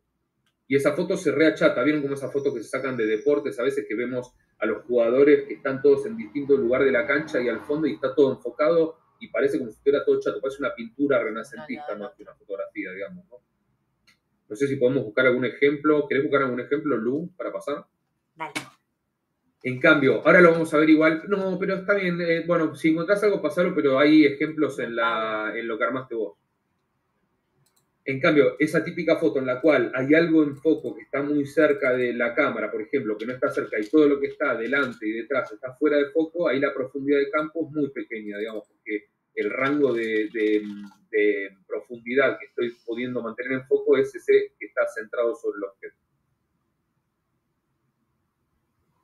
¿Se entiende entonces la diferencia entre uno y otro? ¿Cuál es el tema? Esta profundidad de campo no responde a uno solo de todos estos seteos que vimos antes como dice ahí al costado, la apertura del diafragma. Cuanto mayor sea la apertura, menor será la profundidad de campo. Ahora vamos a ver por qué, en la imagen que está, acá, al costado. La distancia focal que vimos con el tema de los objetivos. Cuanto mayor sea la distancia focal, menor será la profundidad de campo. Lo que les dije, hago zoom sobre algo que está muy lejano, todo lo que está antes de eso y quizás lo que está detrás de eso está fuera de foco completamente.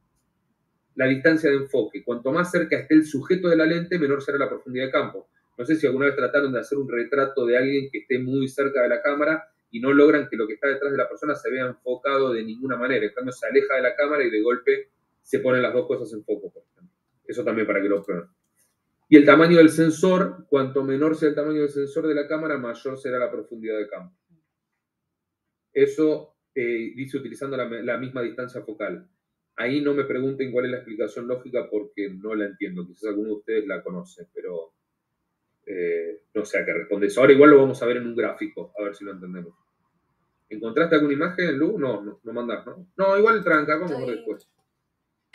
Bien, el gráfico que está acá lo que está mostrando es cómo influye la profundidad de campo con respecto a la apertura del diafragma, lo que vimos antes, o sea, cuánto controlo yo de la cantidad de luz que está ingresando adentro. ¿Alguien tiene una explicación para esto? De por qué a medida que voy cerrando el diafragma y entonces se va haciendo cada vez más pequeño ese agujerito, entran más cosas en foco con respecto a, por ejemplo, lo que vimos sobre la cámara oscura. ¿Alguien puede eh, esbozar una explicación sobre eso que se le ocurra? No. Ok. Bueno, la que puedo gozar yo, vamos a volver para atrás, miren. Yo tengo el agujero de la cámara bien abierto, digamos, el diafragma bien abierto, entran rayos de luz que no son solo los que yo estoy tratando de recortar, sino que entran también los que van pegados a esos, básicamente. ¿No? O sea, estoy dejando entrar más luz, pero al mismo tiempo la luz que está entrando también es más difusa, digamos, no está tan enfocada. Y bueno, entonces ahí yo con un juego de lentes puedo jugar para enfocar algo de todo esto y que algo de todo esto esté en foco, porque con las lentes lo que hago es regular la luz. Pero todo lo que esté por detrás del objeto y por delante del objeto no lo voy a poder enfocar al mismo tiempo. En cambio, si yo empiezo a cerrar el diafragma, empiezo a recortar muchísimo la luz, tanto de la que sale del objeto que estoy tratando de fotografiar como lo que está detrás y lo que está delante, porque básicamente solo están pasando por ese pequeño agujerito los rayos mínimos que pueden pasar y eso hace que la imagen quede enfocada, que vendría a ser el ejemplo acá de la derecha. Perdón. Entonces, sí. ¿Tiene sentido que esto funcione como la lupa, o sea, como lo que vimos la clase pasada de los lentes convexos y cóncavos? Claro, pero en el caso de la lupa, ¿cuál es? Vendría a ser el caso en el que acá está bien abierto el diafragma, en el cual yo con la lupa regulo y solo puedo tener en foco lo que está a cierta distancia de la lupa. Y si la muevo, enfoco otra cosa. En cambio, cuando yo cierro el diafragma, empiezo a capturar tan pocos rayos de luz que tanto los que están delante del objeto que estoy tratando de fotografiar como lo que está detrás, todos pasan solo los rayos mínimos y esa imagen queda súper enfocada. ¿Se entendió?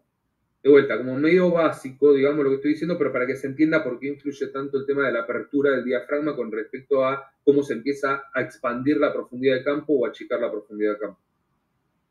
¿Ok? Más o menos, igual no hace falta que se entienda perfecto, digo, pero para que encuentren una explicación lógica de por qué pasa esto y que no parezca magia, ¿no? Lo peor que puede pasar acá es que digamos que algo es magia. Eh, entonces tratemos de entender eso, que en un agujero muy grande pasa más, ¿Y cómo subsanas eso con una cámara? Si no tuvieras lente, todo se vería desenfocado, pero cuando hay un juego de lentes, parte de esa luz la puedes enfocar para que quede exactamente como tiene que enfocar sobre el sensor de la cámara, por ejemplo, y que se vea la foto nítida. Pero se va a ver ese objeto en particular. En cambio, si empiezo a achicar, ya empieza a entrar todo en foco porque los rayos que están pasando son los mínimos que pueden pasar por ese agujero, ya no pasan todos los que están alrededor. Y ya no tengo que jugar tanto con la lente para que esté todo algo en foco porque empieza a estar todo en foco, básicamente de vuelta, medio simple, pero para que se entienda eso, ¿no? Que el agujero es tan pequeño que pasan todos los rayos que están pegados uno encima del otro, no pasa todo lo demás, lo demás queda afuera, entonces la imagen queda enfocada. ¿Bien? Bien, veamos cómo algún otro, eh, ¿cómo se llama? Algún otro seteo de la cámara influye sobre la profundidad del campo. Acá tenemos dos. Por ejemplo, lo que dice acá es cuanto más lejos estemos del sujeto al que enfocamos, mayor va a ser la profundidad del campo. Lo de abajo no lo voy a leer porque es una estupidez que está escrito, básicamente es viceversa. Entonces, ¿qué es lo que dice acá? Lo que decía yo antes, si ustedes, por ejemplo, se tratan de sacar una foto de la mano de ustedes bien cercana a la cámara que la están sacando, la del celular, por ejemplo, va a ser imposible que logren que los dedos de la mano que están a, por ejemplo, 10 centímetros de la cámara y el fondo que está a 2 o 3 metros se enfoquen. ¿Ok? O sea, lo que está apuntando esto es esto, básicamente. En cambio, si yo empiezo a alejar la mano, empieza a estar todo en foco.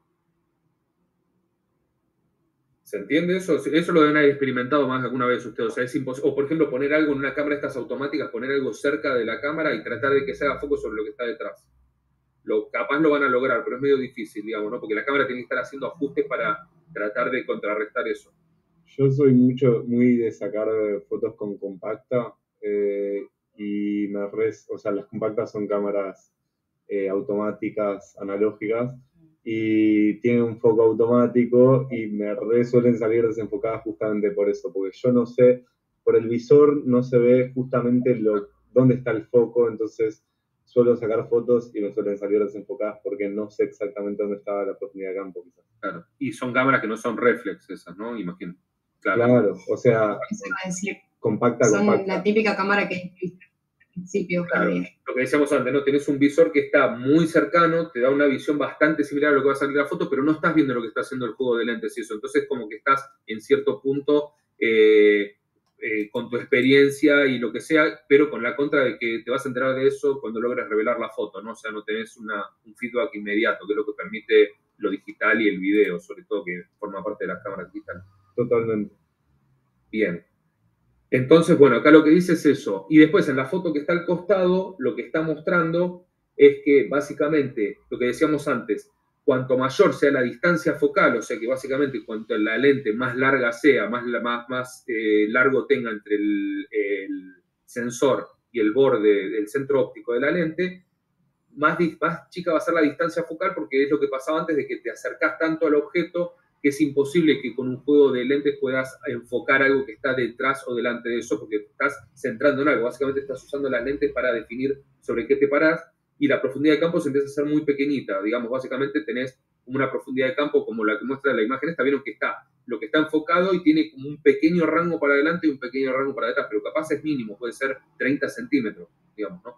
De hecho, ustedes pueden llegar a sacar una foto en la cual, eh, si, si lo, logran hacer con la cámara que tienen, la nariz esté fuera de foco, los ojos estén en foco y las orejas estén fuera de foco. O sea, básicamente esa pequeña distancia que hay entre las tres cosas hagan que tengas que centrar el foco en alguna de las tres cosas, digamos, y las otras estén fuera de foco, ¿no? O sea, por más que no sea un teleobjetivo y eso. ¿Se entendió esto? Digamos, acá es un poco, se empieza a volver un poco más abstracto porque obviamente responde a otras cosas que a mí no me resultan tan lógicas como el tema de la apertura del diafragma. Este, pero para mí tiene que ver con eso, con el ordenamiento que hacen el juego de lentes para tratar de enfocar la luz y que, bueno, te sirven hasta cierto rango, a partir de ahí es imposible, tenés que cambiar el foco y, empieza a cambiar, el, precisamente empieza a enfocar otra cosa y te empieza a quedar desenfocada otra. ¿Ok? Y el último factor que tiene que ver con esto, que es el más abstracto de todos para mí, es el tema de cómo afecta el tamaño del sensor con la profundidad de campo, que de vuelta es algo que no se puede ajustar, ¿no? pero para que sepan quizás por qué están limitados para jugar con cierta profundidad de campo, depende del dispositivo que estén usando y el sensor que tengan. ¿Ok? Entonces, lo que está diciendo esto es, cuanto más pequeño sea el sensor, menor va a ser la profundidad de campo. ¿Qué es lo que pasa con las cámaras de los celulares? O sea, que se empieza a chatar todo y, bueno, podés llegar a tener más o menos todo en foco si está todo relativamente lejos de la cámara, pero si algo se te acerca y lo tenés a un metro, ya es casi imposible que esté en foco eso y cualquier cosa que esté detrás digamos, ¿no? Y ahí, obviamente, se puede tratar de contrarrestar un poco con algunos de los otros factores que forman parte de la foto, digamos, los seteos que hay, pero ya va a condicionar bastante. En cambio, con una, una cámara que tenga un full frame, eh, quizás les va a resultar mucho más fácil eso, poder hacer una imagen que tenga una gran profundidad de campo y pueden captar varias cosas que tengan distinta lejanía en la cámara y que estén enfocadas un típico ejemplo de los conflictos de la profundidad de campo para la gente joven es cuando vos ves videitos de YouTube y está desenfocado el fondo, la persona que está hablando está en foco y te quiere mostrar un producto y le tiene que poner atrás la mano para que entonces solo se enfoque lo que está adelante, porque si no va a enfocar atrás y no vas, a ver todo mal. El producto, por más que la distancia no sea mucha, tiene que ver con eso, ¿no? Con que la lente tiene un punto en el que enfoca bien y más adelante no y más atrás en realidad ahí, ¿qué es lo que influye mucho con esas cámaras? Son automáticas y el sistema automático de la cámara está tratando de hacer un promedio de qué es lo que se debería ver más en la foto. Entonces, si vos estás sacando algo y eso solo representa el 15% de la imagen, trata de enfocar el otro 85%, porque la cámara asume que vos estás tratando de que lo que se ve más, independientemente de la distancia de la cámara, sea lo que está en foco. Por eso a veces le ponen la mano para aumentar esa superficie. Cuando llegas al 50%, se da cuenta que lo que tiene que enfocar es esto pero es un tema de, es un promedio básicamente que está haciendo.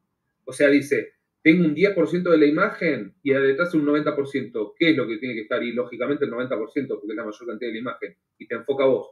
Cuando empezás a poner la mano, empezás a generar una superficie mayor. Cuando llegas a partir del 30-40%, dice, ah, ok, lo que tengo que enfocar es lo que está cerca y enfoca eso.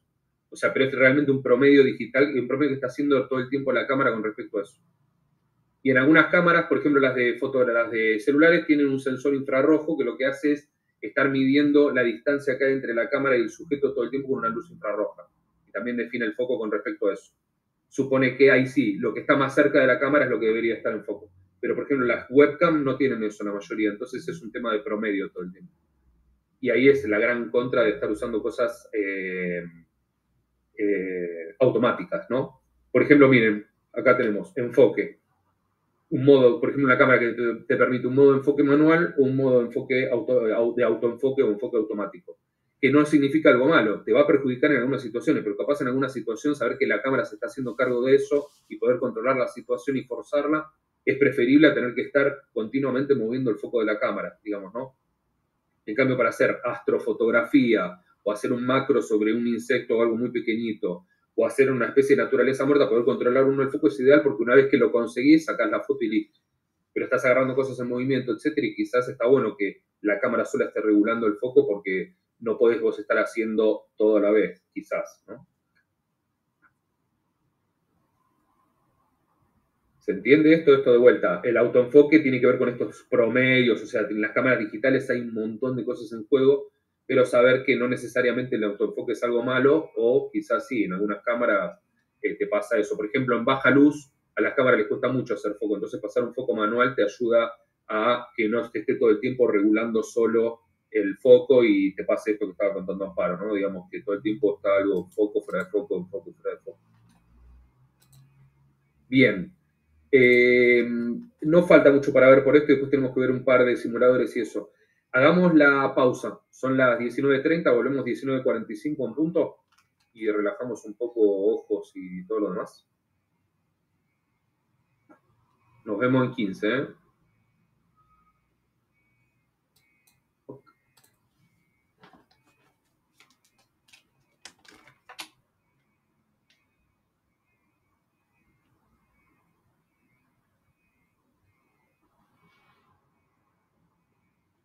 Che, Javi, no quise meterme mucho ahí, pero mm, hoy en día dicen que es medio polémico el tema de que el tamaño del sensor influye en la profundidad de campo. Em, ¿Por qué?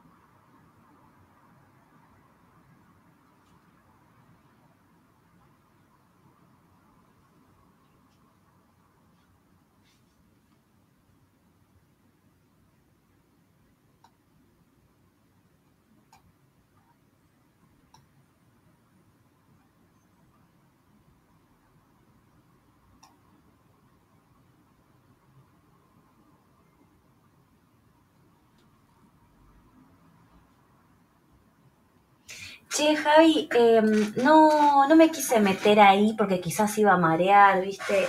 Pero em, lo del tema de la profundidad del campo y el tamaño del sensor, hoy en día en realidad em, se comprobó que, no, no importa en realidad el tamaño del sensor. Eh, en lo que eran las películas de film con la de 35, sí pasaba lo de que había menos profundidad de campo con la película de 8 milímetros. Em, pero por cómo estaba diseñado. Em, che, Javi, no quise decir nada, pero a hoy en día como que ya se demostró que el tamaño del sensor no influye tanto en el tema de la profundidad de campo. En las cámaras digitales. Sí pasaba en la fotografía analógica con los 30, que por ejemplo en la de 35 milímetros sí había menos profundidad de campo que en la de 8 milímetros. Porque mm, las películas más chiquitas lo que hacían era centraban la luz eh, produciendo como se llamaba un círculo de confusión más pequeño que produce como esa sensación de nitidez. Pero hoy en día en el caso de las de mm, eh, por ejemplo, los, con los sensores más grandes, por ejemplo, con un sensor de, por ejemplo, mi cámara Sony, Em, eh, che, Javi, hoy en día con las cámaras digitales, el tema del sensor y la profundidad de campo, como que medio que, por yo lo que estuve leyendo, em, no influye eh, el tema del tamaño del sensor eh, sí influían en, la fotografía analógica con el tema de las películas de 35 milímetros y tenía menos profundidad de campo que una de 8 milímetros, porque esa de 8 milímetros como que se entraba la luz, produciendo un círculo de confusión como más pequeño y por eso producía una, una noción de, nitidez mayor, eh, que era como ver todo en foco. Y después con el tema del mundo digital, eso ya no pasa, porque eh, para tener más o menor profundidad de campo, está en realidad más establecido por la densidad de píxeles que tiene el sensor, más que por el tamaño. Eh, si se compara a veces una, por ejemplo, mi cámara Sony 7 II con otra cámara que tiene, no sé, un sensor APS-C, eh, la mía de full frame eh, va a tener como un mejor resultado. Pero esto se debe al, tema de los píxeles del sensor de la cámara más que porque tienen un menor tamaño y ahí se puede meter más resolución. Eh, pero nada, eso me quedó en la cabeza.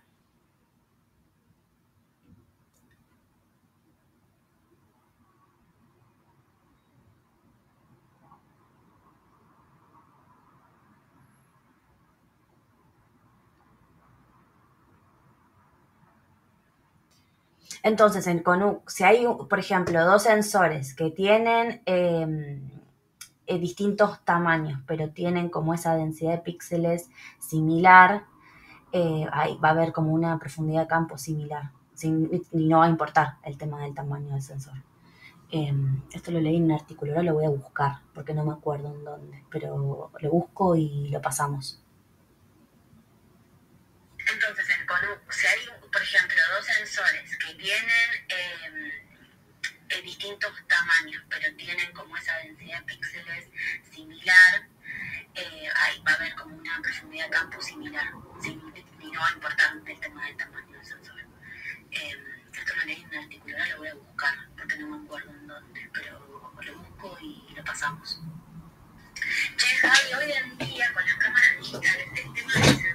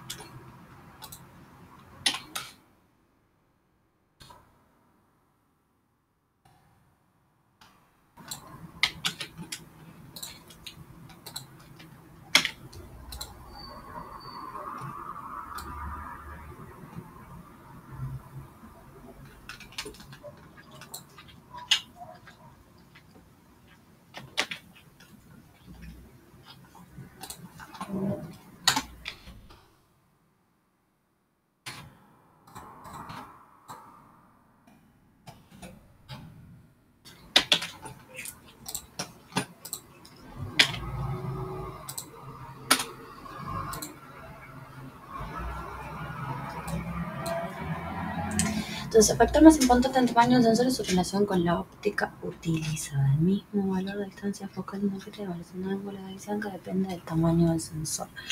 Factor de conversión. Así que la necesidad de una cámara function depender, dependerá de qué tanto debamos aprovechar ese ángulo. La visión de la fotografía, la arquitectura para el ángulo, para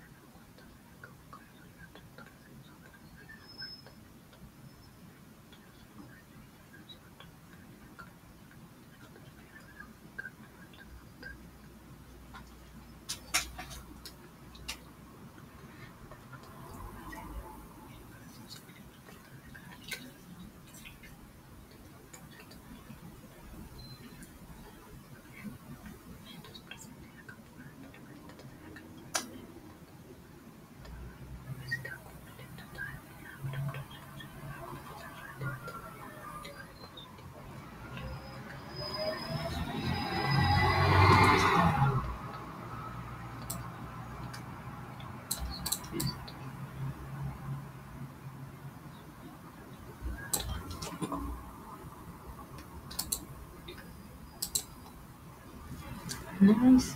Control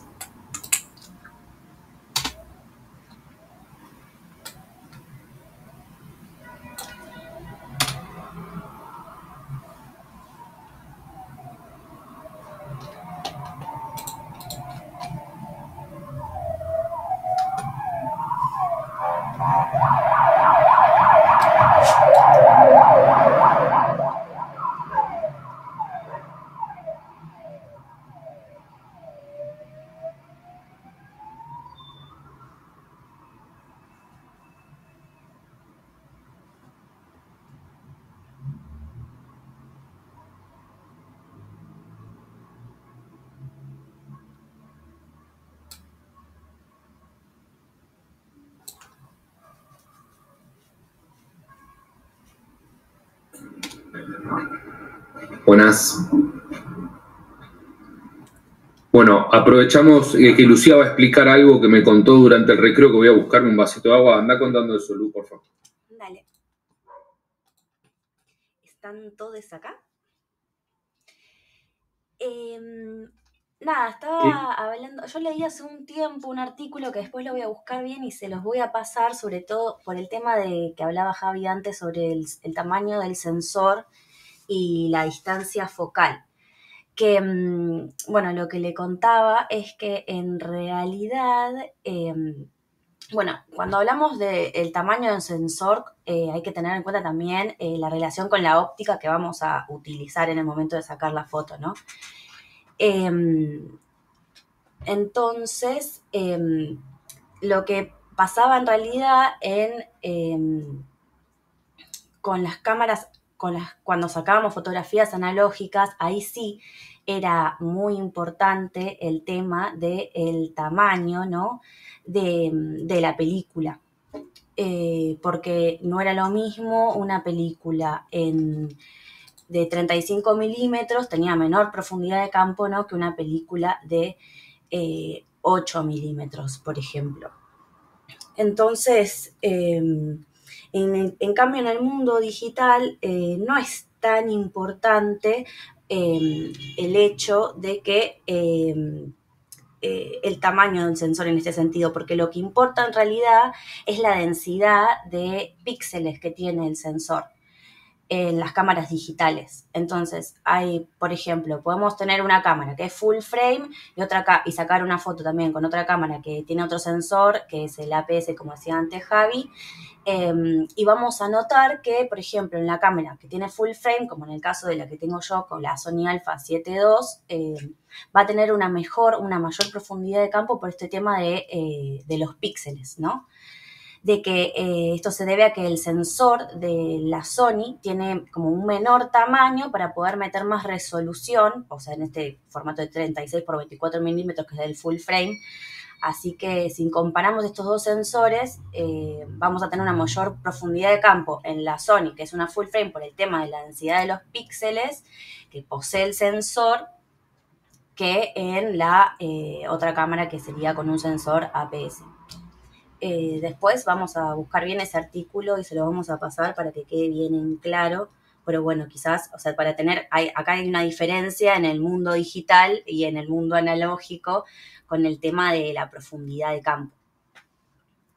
Pero bueno, nada, eso. Muy bien. Sí, este era el tema con el que yo estaba más inseguro porque encontré que era tipo, es más grande, tiene más cosas y no le encontraba mucha lógica que digamos, así que está, está buena la aclaración. Bien, bueno, vamos a continuar. Tengo una pregunta antes de ir. ¿Es la misma proporción aspecto, digamos, siempre? ¿En qué sentido? Digo, de tantos píxeles de, de ancho por tantos de alto. Y que yo sepa, los sensores sí, pero lo que hace después es que vos podés seleccionar distintos formatos de foto que lo que hace es recortar adentro de eso, ¿no? O sea, por ejemplo, cualquier cosa digo tenés el sensor de 5000 por 4000 píxeles, después si necesitas algo que sea tipo formato 16.9, te recorta ahí adentro lo que hace falta de eso y te tira eso, digamos. Claro. Eh, eh, pero sí, yo imagino, ¿cuál es la proporción de foto normal, común y corriente de luz, vos sabés? O sea, que es como una especie de 4.3 casi, ¿no? O sea, no es muy lejano un 4.3. Sí, sí, sí. Yo sé que es algo como eso y después depende del formato. En lo digital es una pavada porque básicamente te recorta dentro de eso, que es incluso lo mismo que hacen las cámaras de video, ¿no? cuando puedes pasar de 16.9 a 4.3 y eso. Claro, en la cámara digital podés modificarlo eso. en vez de usar el full frame, podés usar, eh, podés hacer un recorte. recorte. Sí. Joya. Bien. Eh, bueno, no nos queda mucho por ver, pero sí después tenemos que ver un par de cositas y vamos a hablar del trabajo práctico de la semana que viene. Y bueno, algo que tiene que ver con el color, que hasta ahora no habíamos visto para nada, ¿no? Como que estuvimos hablando mucho de luminosidad, de todo ese tipo de cuestiones, pero no estuvimos hablando de la luz. Que en fotografía y en video generalmente es lo que se conoce como balance de blancos. Que básicamente es el tema de que depende del tipo de luz que esté iluminando lo que estamos registrando con la cámara, los colores van a ser afectados por eso, porque lo que vimos es que básicamente la luz es lo que hace que nosotros podamos ver los pigmentos, ¿no? O sea, básicamente un rayo de luz impacta sobre el objeto que tiene cierta pigmentación y ese reflejo es lo que me llega a mí. Si la luz que estoy usando es muy blancuzca, es la luz natural del sol, es una luz de atardecer, media opaca, es una luz de tungsteno, media amarillenta, etc., los colores se van a ver afectados por eso.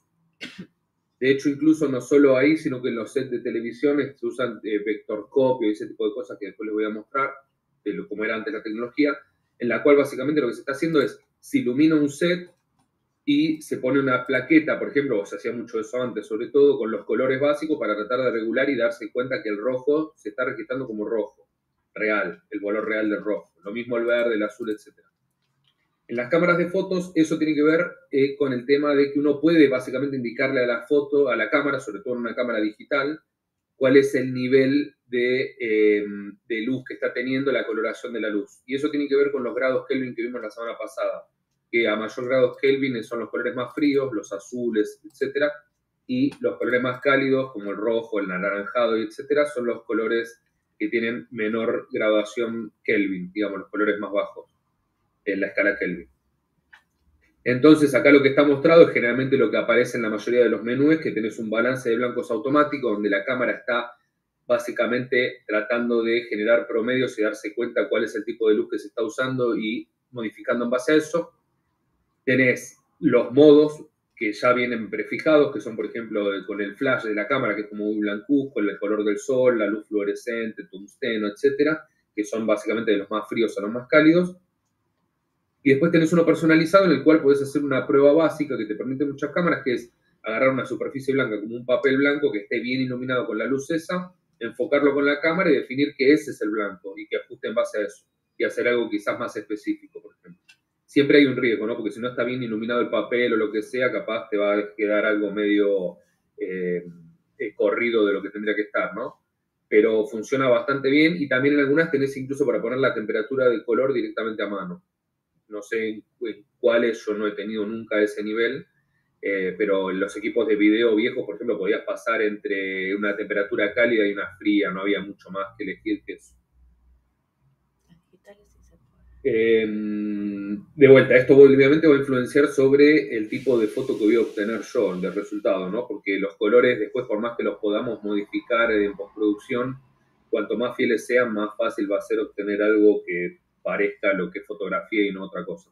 Pero muchas veces se juega con eso también, ¿no? Sacar una foto, registrar foto o video ya con colores fríos, por ejemplo, sin que sea un tema de postproducción. ¿Alguna duda con esto? Como digo, es bastante más sencillo de entender, ¿no? Pero bueno, saber que eso, que lo pueden afectar, si nunca lo vieron en una cámara, la app que les vamos a mostrar ahora del celular se puede hacer a mano, eso directamente, de seleccionar la temperatura en grados Kelvin. Bien. Eh, ah, bueno, mira, esta es la última que tengo justo. Perfecto. Bueno, lo que vamos a hacer ahora es que... Eh, ah, cierto que tengo esto en una ventana oculta. Bueno, mejor, voy a ir a buscar algo. Ah, tuve un problema con el navegador que no me terminó de dar cuenta cuál es. Voy a ir a buscar eh, un simulador, el primero que vamos a usar, para ver este tipo de cuestiones eh, de vuelta en algo que es básicamente un simulador. A ver, acá.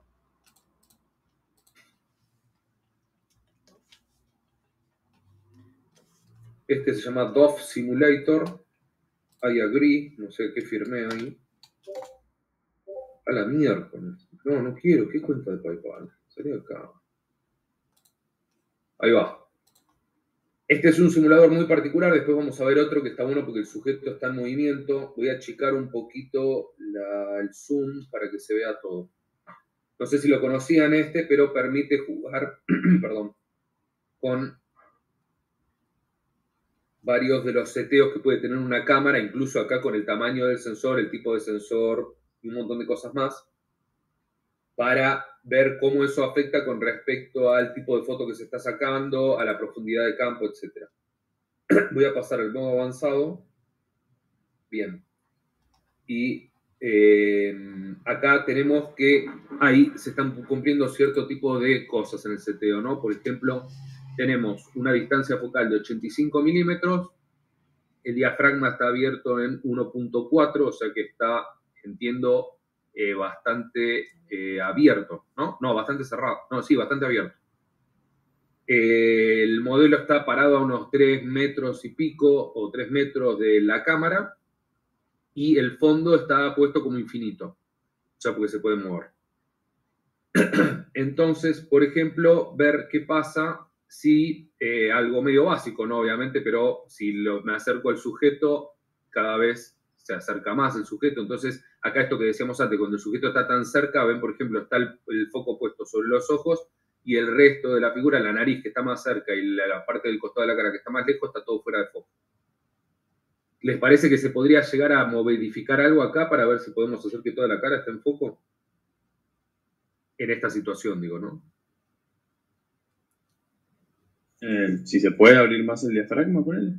Sí, por ejemplo, ahí miren, lo voy abriendo, abriendo, abriendo, abriendo, abriendo, y sí, logré que esté todo en foco, básicamente. La distancia focal en sí eh, es corta y el, ¿cómo se llama? la profundidad de campo es cortísima, pero dentro de la pude modificar. O sea, capaz que son 30 centímetros, pero antes era de 5 centímetros nada más, la distancia focal. O sea, 5 centímetros, menos. Debía ser capaz 1 o 2 centímetros de los ojos para adelante y para atrás, un centímetro, y ahí la, la logré llevar quizás a 10. Ven, vuelvo de vuelta a cerrar el diafragma y lo único que dejo ahí en foco son los ojos, ¿no? O sea, no hay distancia focal para nada.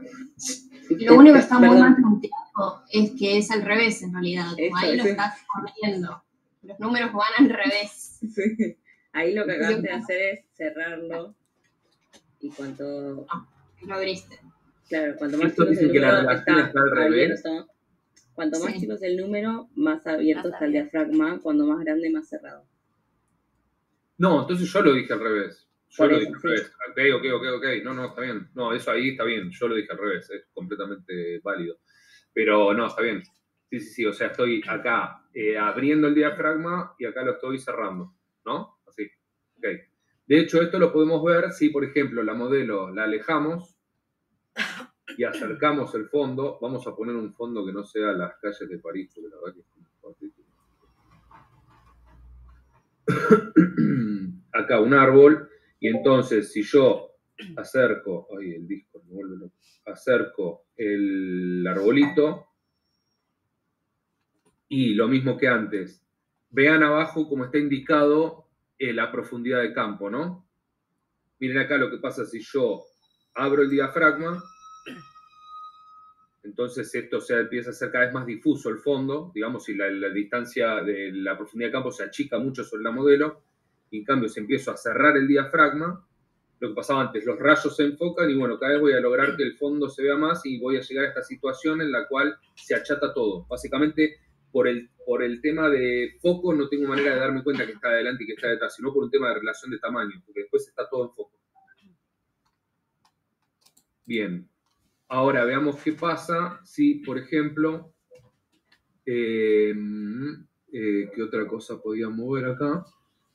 Eh, bueno, el tema de la distancia focal, ¿no? O sea, esto lo vimos antes, pero lo que pasa si yo achico la distancia focal y entonces básicamente se me empieza a agrandar el ángulo y a, agrandar la distancia que yo siento que está la modelo de la cámara, básicamente, pero al mismo tiempo empieza a entrar todo el foco y miren cómo aumenta la distancia focal abajo. La distancia focal, no, la, la profundidad de campo, quiero decir, perdón. En cambio, si yo uso, por ejemplo, pongo al, me pongo más lejos del árbol, del fondo, y a la modelo también la muevo para afuera, y uso un teleobjetivo para poder básicamente agarrarle la cara, por ejemplo, a la modelo, entonces voy usando un, teleobjetivo y a medida que me acerco, perfecto, le voy agarrando la cara, pero el fondo, la profundidad de campo se hace chiquitísima, digamos, entonces ya está cualquier cosa que esté a un metro de ella queda completamente fuera de foco. Incluso, miren, se acerco el fondo, pasa lo mismo. Entonces se va a ir poniendo cada vez un poquito más en foco, pero está fuera de foco, ¿no? Tengo que ponerlo básicamente a ella con el fondo, o sea, pegada al fondo. Y no pasa esto. En cambio, si empiezo a agarrar y aumento, disminuyo la distancia focal, ahí, por ejemplo, con un 60, 60 milímetros, y el fondo ya casi está en foco, básicamente, y hay una distancia de eh, casi 6, 7 metros entre fondo y sujeto. ¿Ok? Como digo, esto está bueno porque por más que hayan entendido todo lo que hayamos visto, si no tienen experiencia utilizando eh, cámaras de fotos con esto, pueden sacarse algunas dudas, digamos, que tienen que ver con todo esto. Eh, me, me, da la sensación de que me está faltando algo. Bueno, acá tienen, por ejemplo, pueden usar, ver la diferencia entre usar un full frame, eh, usar por ejemplo, una cámara compacta.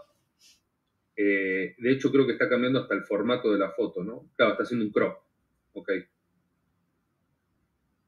Digo, está bueno porque se puede incluso sacar la duda de más o menos cómo es el tipo de foto que pueden obtener con incluso los modelos de cámaras que hay hoy eh, en día, digo, ¿no? Eh, capaz está bueno incluso cuando uno está eligiendo para comprarse una cámara y te puede llegar a dar, aparte de las reviews que hay en YouTube y qué sé yo, eh, alguna idea. Miren, esto, el sensor es un sextavo de pulgada, o sea que es básicamente de lo más eh, pequeño que puede haber, por ejemplo, en algunos celulares. Y eh, ahí está. Ok. Miren acá, por ejemplo, está la misma distancia entre el fondo y la modelo que te está demostrando que se achata todo un montón. O un montón, directamente. O sea, parece que estuvieran parados uno al lado del otro y en realidad hay una distancia bastante grande. Bien, acá pueden cambiar, poner incluso formatos como de video para darse cuenta más o menos cómo registraría, como digo, es bastante completo. Y el otro que pasaron, que está en el Discord, así que guárdenme que ya lo voy a buscar al Discord, eh, es este simulador que se llama Cámara Sim, que lo que está bueno es que esto que vimos recién es estático y el que está ahora es un poco más fotorrealista y al mismo tiempo eh, eh, tiene un sujeto en movimiento. Entonces está bueno porque te permite evaluar mínimamente eh, qué es lo que pasa con la, mm, el tiempo de exposición, ¿no? el tiempo que el obturador está abierto, cosa que en el otro la verdad que yo no lo encontraba como formato porque no tiene sentido en ese. En este, en cambio, sí. Por ejemplo, acá lo que está mostrando que están los modos estos automáticos que tienen las cámaras, porque es un emulador de eh, Canon, es este, ¿no? Sí, creo que de Canon. Entonces es para que veas básicamente cómo funcionan las cámaras de Canon. Entonces ver, por ejemplo, si yo saco una foto con, lo con esto como está automático, está la apertura, la, abertura del diafragma en, en 11, la velocidad del shutter en un sesentavo de segundo y el ISO en 100, y me sale una foto muy linda. Ahora, ¿qué pasaría si yo quiero, por ejemplo, sacar una foto eh, mucho más rápida para que en vez de salir el coso de la nena todo distorsionado, quede directamente congelado? ¿Qué es lo que deberíamos ver ahí? La velocidad de obturación. La velocidad de obturación, perfecto. Entonces tengo que cambiar. Acá las cámaras estas son como las de video. Podés darle prioridad a la apertura del diafragma o, por ejemplo, al shutter. Y bueno, se supone que yo en el shutter, si subo la velocidad del shutter y lo pongo, por ejemplo, en 1.320, o sea, básicamente como cuatro veces o cinco, seis veces más rápido que antes, a ver cómo sale la foto esta. Bien, salió más iluminada, pero ven que ya casi no se detecta movimiento sobre el... No me sale esto que tiene la nena en la mano, ¿cómo se llama? Molinete. Un molinete, perfecto, un molinete.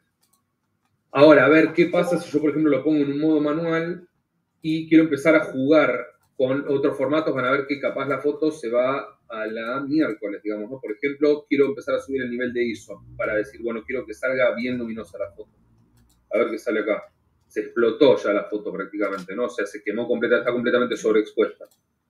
Pero podría, por ejemplo, eh, eh, aumentar, eh, disminuir, aumentar la abertura, disminuir la abertura del diafragma.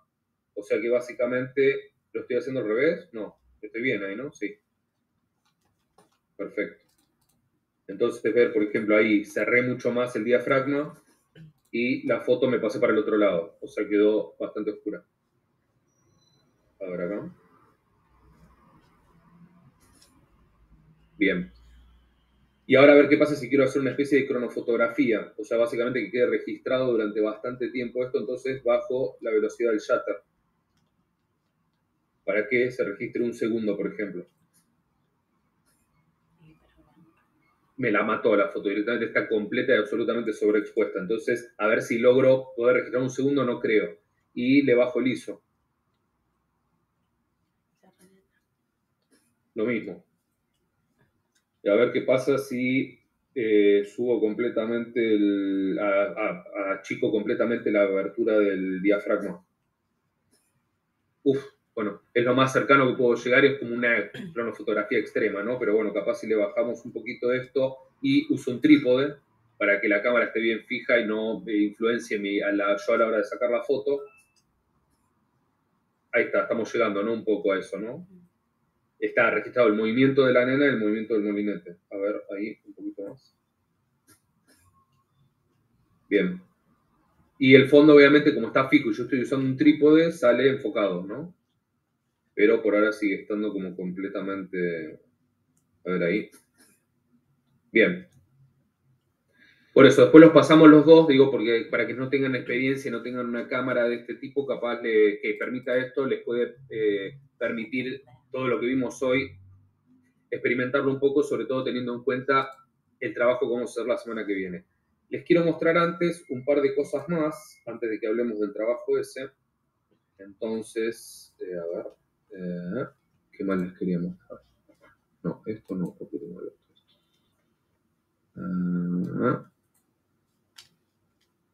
bien. Eh, que quiero abrir una aplicación, no sé si va a funcionar esto, lo veo medio difícil, pero les quería mostrar una aplicación que puse en el celular, que quizá algunos de ustedes conocen, que es como para cámara profesional, y está bueno porque realmente te permite tanto en Android y tengo entendido en iPhone, de controlar todos estos seteos en la cámara, o sea, básicamente manejar todo a mano. Y lo estuve probando y en video lo usé, porque yo uso más que nada video, y funciona muy bien. O sea, funciona realmente muy, muy, muy, muy bien. Entonces, aguárdenme que eh, quiero abrir esto y ver si lo puedo compartir. Esa es mi duda. Eh, autodetectar. Eh.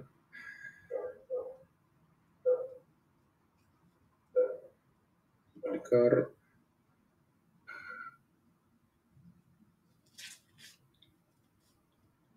Código PIN. Código PIN. 0008. Comenzar ahora. Bien, aguárdenme que quiero ver si les puedo compartir esta pantalla en vez de lo que estoy compartiendo. Dejar de compartir. Y primero voy a prender la luz porque estoy en la penumbra absoluta.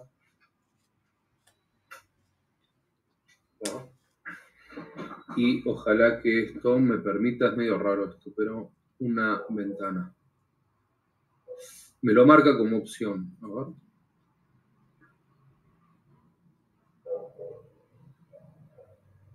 Están viendo todo negro, ¿no?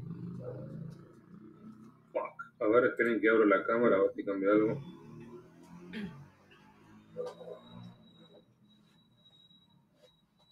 Eh, la voy a compartir de vuelta. A ver,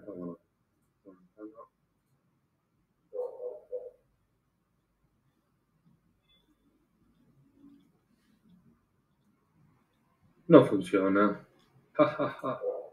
bueno, les muestro por acá eh, lo mejor que puedo. Ahora les paso igual el nombre, pero para que vean que eh, hay apps que permiten, digamos, esta la verdad que está muy buena y permiten controlar eh, todo lo que estuvimos viendo recién, ¿no? Por ejemplo, acá está el grado de la temperatura en grados Kelvin y entonces básicamente puedo hacer que bajar la temperatura en grados Kelvin y que realmente haga una foto con colores más cálidos o subir la temperatura quizá con colores más fríos.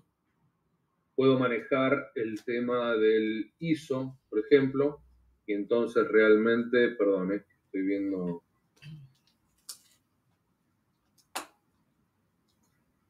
Por ejemplo, ISO eh, de 800 o ISO de 3200, por ejemplo. Entonces la, la, foto está completamente sobreexpuesta y realmente se nota que es eso lo que está controlando, no es una imitación, digamos, sino que está repitiendo realmente eso. Eh, podemos tener em, eh, la velocidad de shutter y es realmente, la probé en video y funciona tal cual, digo, como dice acá, digo, registra en 25, en 30 y en foto lo mismo en fin, es muy completa, o sea que con esto, digamos, lo único que tienen es su celular, eh, pueden realmente tener la experiencia de poder controlar los seteos que hacen falta en una cámara digital con una aplicación como esta. Y de hecho les convendría instalarla porque el trabajo que vamos a hacer la semana que viene va a tener que ver con todo lo que estuvimos viendo hoy y poder cumplir cierta, ciertos requisitos que van a llegar de manera aleatoria para la foto que tienen que sacar y presentar en conjunto con el resto de sus compañeros. Esto, para no olvidarme, lo vamos a compartir todo en el grupo, pero lo paso ya. Eh, cerrate. Ayer dije, bueno, les voy a poder mostrar esto en, persona y no. Eh, la aplicación esta se llama Procam X. Quizás hay otras, si conocen otras las pasan. Ahí está en el market de Google, pero creo que también está para iPhone. Este, así que eh, les conviene instalarla. Quizás en algunos celulares no van a tener habilitado todo porque si el celular no permite hacer eso de ninguna manera, quizás no lo pueden hacer, pero les va a acercar bastante, pueden hacer cronofotografía con esto hasta cierto punto, o sea, dejar el shutter, que ya sabemos que es medio mentiroso, abierto el suficiente tiempo. E incluso creo que hay otras apps que permiten hacer tipo shutter de 5 segundos, 6 segundos, etc.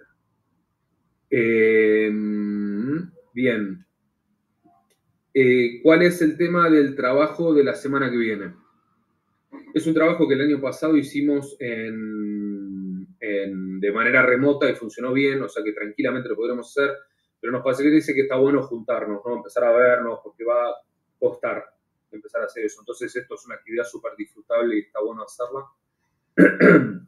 Este, eh, en mi caso y de Lucía, hace dos años que no vamos a dar clases en la universidad o más, así que la verdad que nos, motiva bastante poder ir.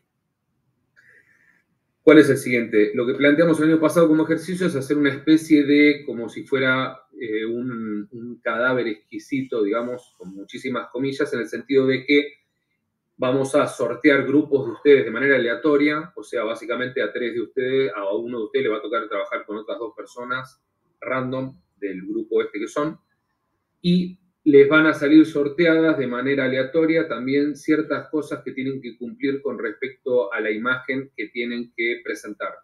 No la imagen que tienen que sacar, porque la idea es que capaz ustedes sacan 10, 15 fotos y eligen una que tienen que presentar en conjunto con su grupo y formar una especie de serie. Por ejemplo, se forma un grupo entre Javier, Martu y Sergi. Y les toca de manera aleatoria una temática, por ejemplo, eh, medios de locomoción, por ejemplo, eh, y les toca eh, ciertos seteos que vimos acá que tienen que respetar, por ejemplo, que la foto esté ligeramente sobreexpuesta y que por ejemplo, bueno, lo de sobreexpuesto es medio complicado porque ya condiciona un montón, pero supongamos que cosas más simples, ¿no? Por ejemplo, tratar de obtener una profundidad de campo grande con medios de locomoción, ¿no? O sea, que no esté centrado en el, en el, medio que están eh, retratando, sino que también esté el fondo también en foco, digamos, controlar eso. Eh, poder eh, manejar un poco unos temas de composición que ahora vamos a ver, por ejemplo, el ángulo y el tipo de plano que están generando, que sea específico, y que la foto tenga coloración cálida, por ejemplo, y alguna cosa más. Cuando les sale eso aleatorio, la foto que ustedes tienen que generar es esa, tienen que salir los tres, idealmente en grupo, por un tema de que van a estar en la calle, probablemente a no ser que alguno tenga la suerte de que le toque algo que pueda resolver adentro del campus de la universidad, y eh, luego definir un orden en el que vemos las imágenes para que funcione como una especie de serie. Es bastante pavote el ejercicio, pero para algunos de ustedes va a significar un ejercicio de sacar imágenes prestando la atención a ciertas cosas y la verdad que el resultado es bastante más interesante de lo que se pueden imaginar. Digamos, cuando empieza a dar, el año pasado fue un poco más extremo porque los alumnos salían cada uno por su cuenta, sus compañeros que están más avanzados, y cuando volvían de golpe se encontraban con la foto que había hecho el otro. Acá puede ser interesante que salgan juntos y quizás e incluso eh, entre todos generen las imágenes, digamos, ¿no? que básicamente estén viendo lo que están generando. No necesariamente tiene que ser la misma foto, de la, tres fotos de la misma cosa o lo que sea, ¿no? Eh, ¿Cuál es el tema? Nosotros no vamos a forzar a que ninguno de ustedes tenga que ir a la universidad con una cámara porque la van a tener que sacar a la calle. Entonces, si cualquiera de ustedes tiene una cámara que usa para trabajar y no se siente cómodo, usen el teléfono celular, ¿ok? No hace falta que utilicen la cámara. En la universidad hay una cámara, pero no sé en qué estado está. El otro día tuve que estar revisando el hardware que hay ahí, qué sé yo. Pero hay una sola y también no la podemos sacar a la calle. Pero digamos, si alguno de ustedes está acostumbrado a salir con una cámara, siente confianza, sobre todo porque van a salir en grupo, no es que van a estar solos ahí en el medio de Villa Lynch, sino que van a salir, van a ir capaz a la zona que está transitada, etc. Y quiere ir con una cámara que le permita mayor control y que yo lo pueda hacer, pero quedan ustedes. Lo mínimo es usar el teléfono celular, ¿no? O sea que la clase que viene vamos a Lynch, sí exactamente. ¿Cuál es el tema? La gente de la mañana no va a tener problemas porque es la mañana, pero ustedes van a tener un problema de luz. Entonces tenemos que organizar esto para que ustedes arranquen muy rápido, para que aprovechen la hora de luz real que van a tener de las 6, porque encima tratemos de ser mega puntuales. Y si alguno de ustedes sabe que está llegando tarde y le definimos el grupo del resto de la y le dice, mira que tenemos que hacer una foto así de y capaz la hace por el camino, digo, porque si alguien que llega a las 7 capaz vamos a dar, no sé, cualquier cosa, digo, de las seis y cuarto a las siete y media para que puedan producir esta imagen con mucha tranquilidad, puedan evaluar, que no salgan corriendo a hacer una foto y vuelvan. La idea es que se tomen su tiempo y que sea algo disfrutable. Pero hay dos contras. Primero, en el lugar que tenemos por ahora en Lynch no hay internet, entonces yo tengo que quizás eh, voy a depender de algún sistema online para hacer el sorteo y no lo voy a tener disponible. Eso por un lado, entonces quizás voy a tener que hacer el sorteo antes. Así que a mí también me sirve que el, lunes a la tarde, si alguien ya sabe que no va a asistir a la clase por X motivo, me avise, no hay ningún problema, pero para no contarlo como parte de la gente disponible para hacer el trabajo. Y el tema de que no haya internet lo que complica es que tienen que venir preparados para bajar su foto del dispositivo que estén usando a una computadora usando un cable que traen ustedes. No hay con qué darle. porque quizás tenemos la gran sorpresa de que haya internet, pero no contemos con eso porque por ahora no hay. Así que vénganse preparados con el cable que haga falta, si tienen algo con tarjeta, con el lector de tarjetas, etcétera. Traigan algunos pendrives encima, papelitos con nombre en un balde Sí, lo que pasa es que me da la sensación de que vamos a tardar tanto, tanto, tanto tiempo en hacer eso que es lo único que me tira atrás. Me encantaría hacer eso, incluso a la mañana se podría hacer, pero con ustedes la idea es que lleguen, definamos rápido y salgan, así aprovechan la hora y pico de luz que van a tener. Eh, me deja meter una SD en la compu. Sí, eh, pero en las compus que están allá no puedes meter ninguna SD, así que a no ser que te lleves un lector de tarjetas SD, olvídate de esa posibilidad. Eh, yo voy a tratar de llevar mi compu, pero la idea es que ver si a la, vuelta podemos hacer eso rápido. También estaría bueno que nos estemos una hora y media bajando fotos para que después las podamos ver y dialogar en detalle. Puedo hacer una clase como corta y disfrutable, digo, ¿no? De vuelta es para aclimatarnos un poco. En tu compu, ¿sí? En la mía también. Este, pero bueno, eso digo, tráiganse preparado y practíquenlo antes. Digo, si jamás en su vida con el celular que tienen en este momento lo conectaron por eso a una computadora y accedieron a la foto, fíjense antes cómo se hace eso, ¿ok? Eh, para no tardar mucho tiempo ahí. Vamos a tratar de tener por lo menos un par de compu, capaz, no sé si vos, eh, Lu, podés llevar la tuya, yo llevo la mía, tratar de como acelerar eso y lleven pendrives encima, así después hacemos una apuesta en común eh, con un proyector grande, o sea, hacer una proyección grande, algo, eh, eso es lo que está bueno. Pero eso, váyanse pensando en esa situación. El trabajo creo que se entiende es muy sencillo, ¿no? De vuelta, van a ser condiciones que quizás incluso ustedes los van a eh, condicionar de una manera que se la van a tener que ingeniar. Por ejemplo, tener que hacer una foto que cumpla todo eso que dijimos antes y que sea, ahora lo vamos a ver, en una posición supina. O sea, no básicamente tener que estar enfocando con la cámara completamente para arriba para sacarlo. Y capaz alguna de las condiciones no la van a poder cumplir y bueno, lo bueno es que nos digan de la imagen que saqué, cumplí esto, esto, esto y esto no y que surja diálogo a partir de ahí. Es más que nada para eso el ejercicio.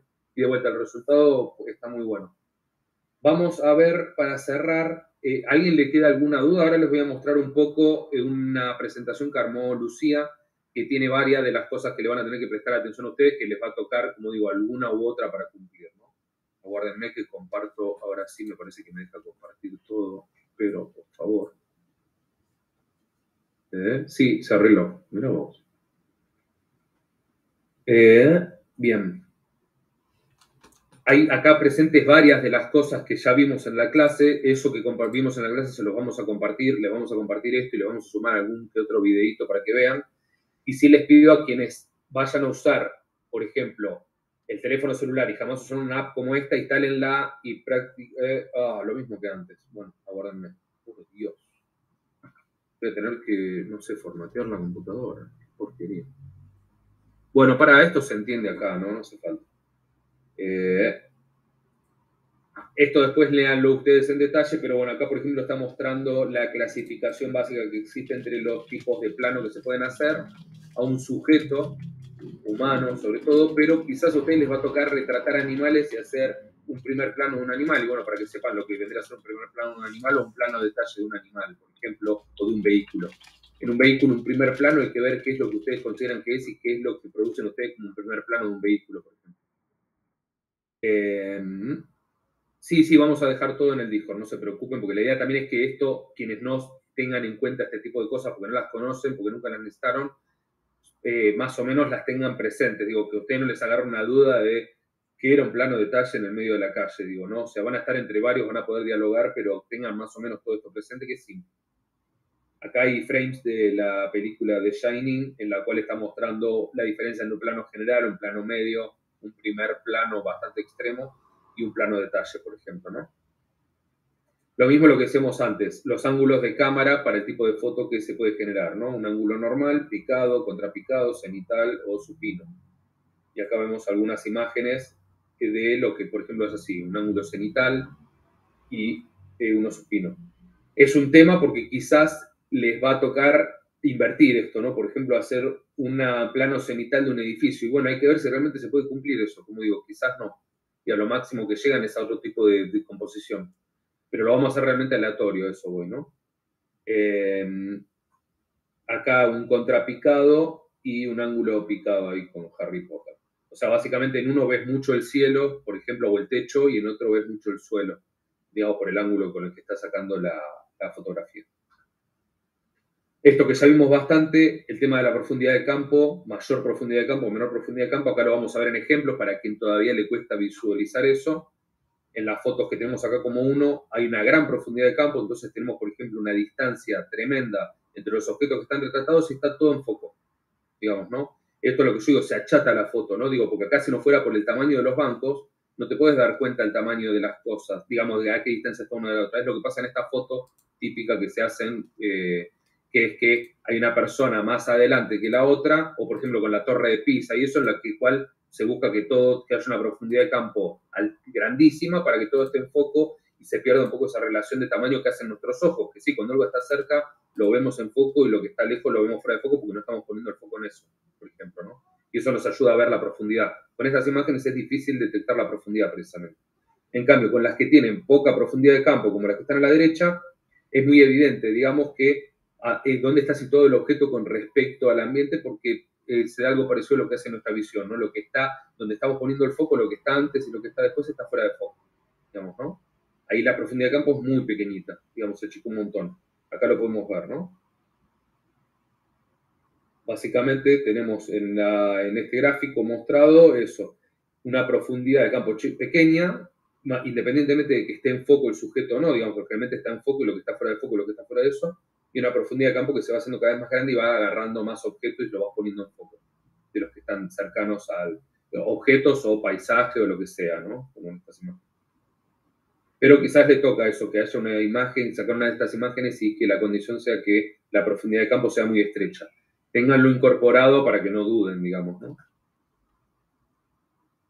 Acá tenemos, por ejemplo, em, eh, eh, otros ejemplos de esto, pero que quizás tienen estar más eh, vistos como el enfoque. ¿no? Obviamente, en la foto que está a la izquierda hay una gran profundidad de campo, pero en la otra que está a la derecha, perdón, la derecha, quise decir, y la que está a la izquierda, que es una foto de esta que hace Pastorino con estos barriletes que tira con las cámaras y eso, la profundidad de campo es bastante grande, no es gigantesca, digamos, ¿no? pero es bastante grande, digamos, porque lo que está viendo ahí es básicamente una estación de tren o un depósito de trenes.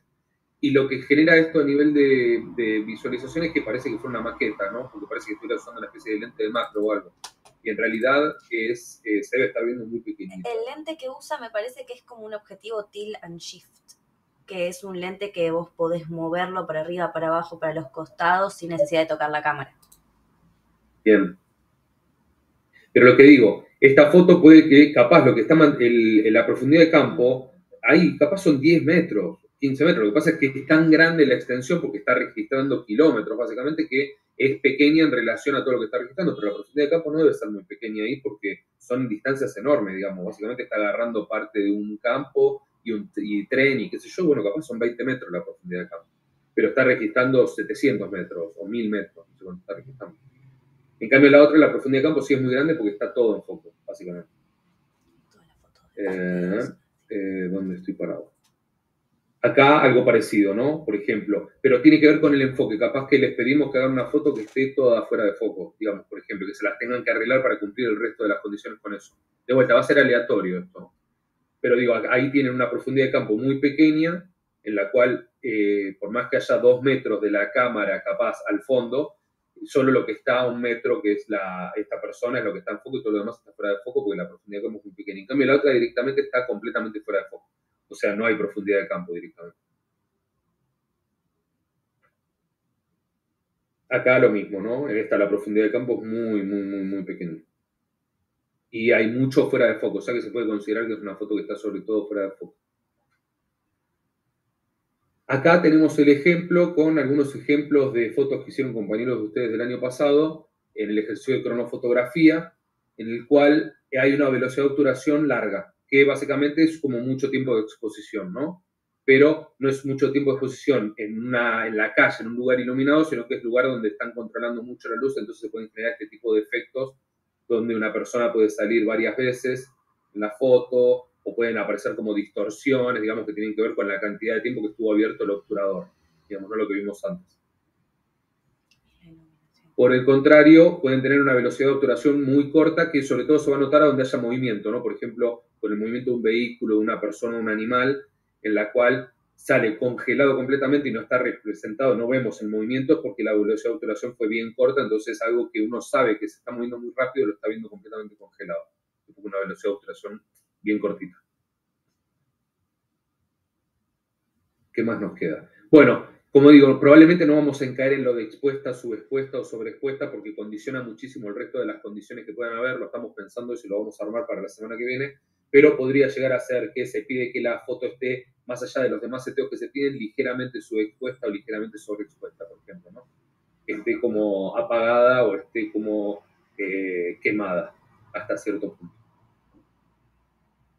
Acá tenemos el tema del ISO, que acá está medio falseado porque seguramente no es real, porque se nota que es una foto que fue digital, retocada digitalmente, pero el tema de que el, aumento del ISO no solo puede ayudar a que las imágenes queden más expuestas, sino también que puede convertir, hacer que aparezca un grano.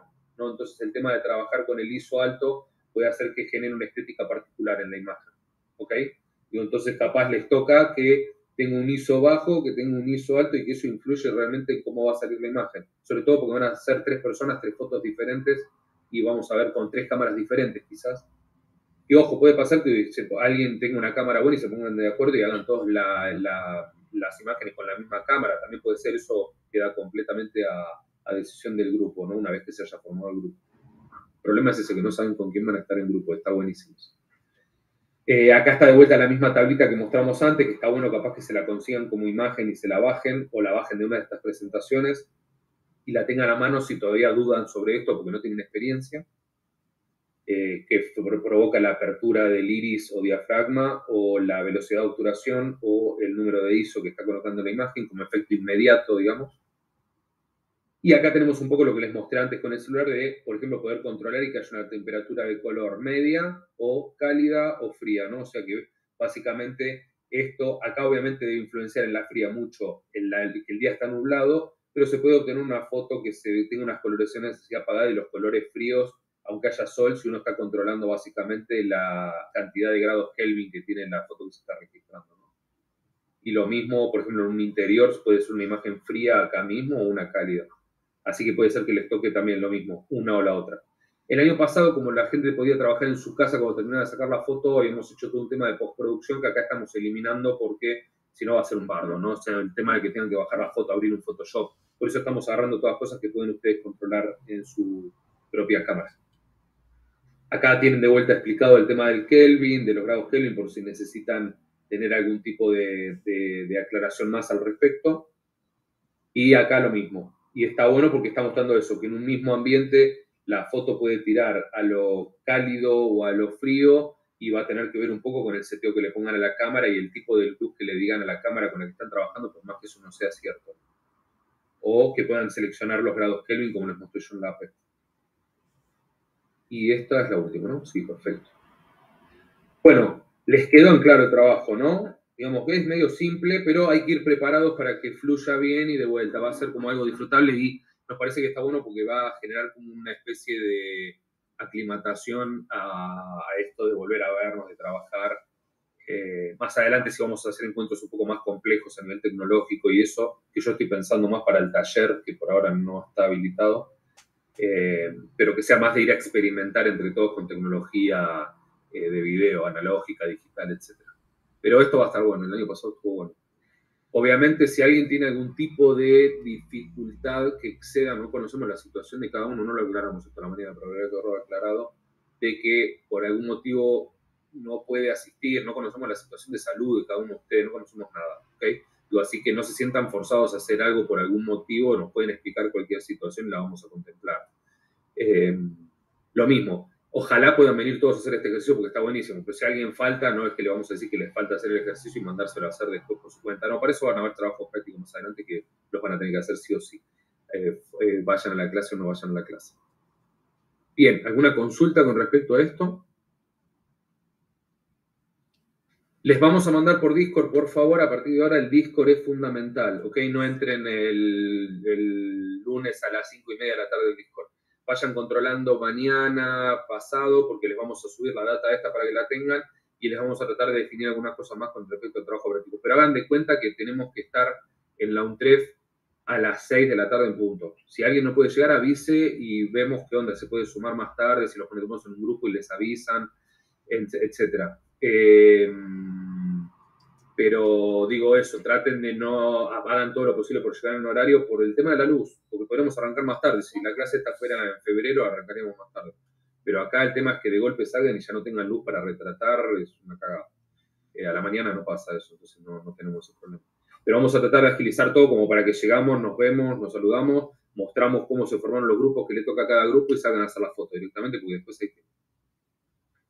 Bien, ¿estamos en claro?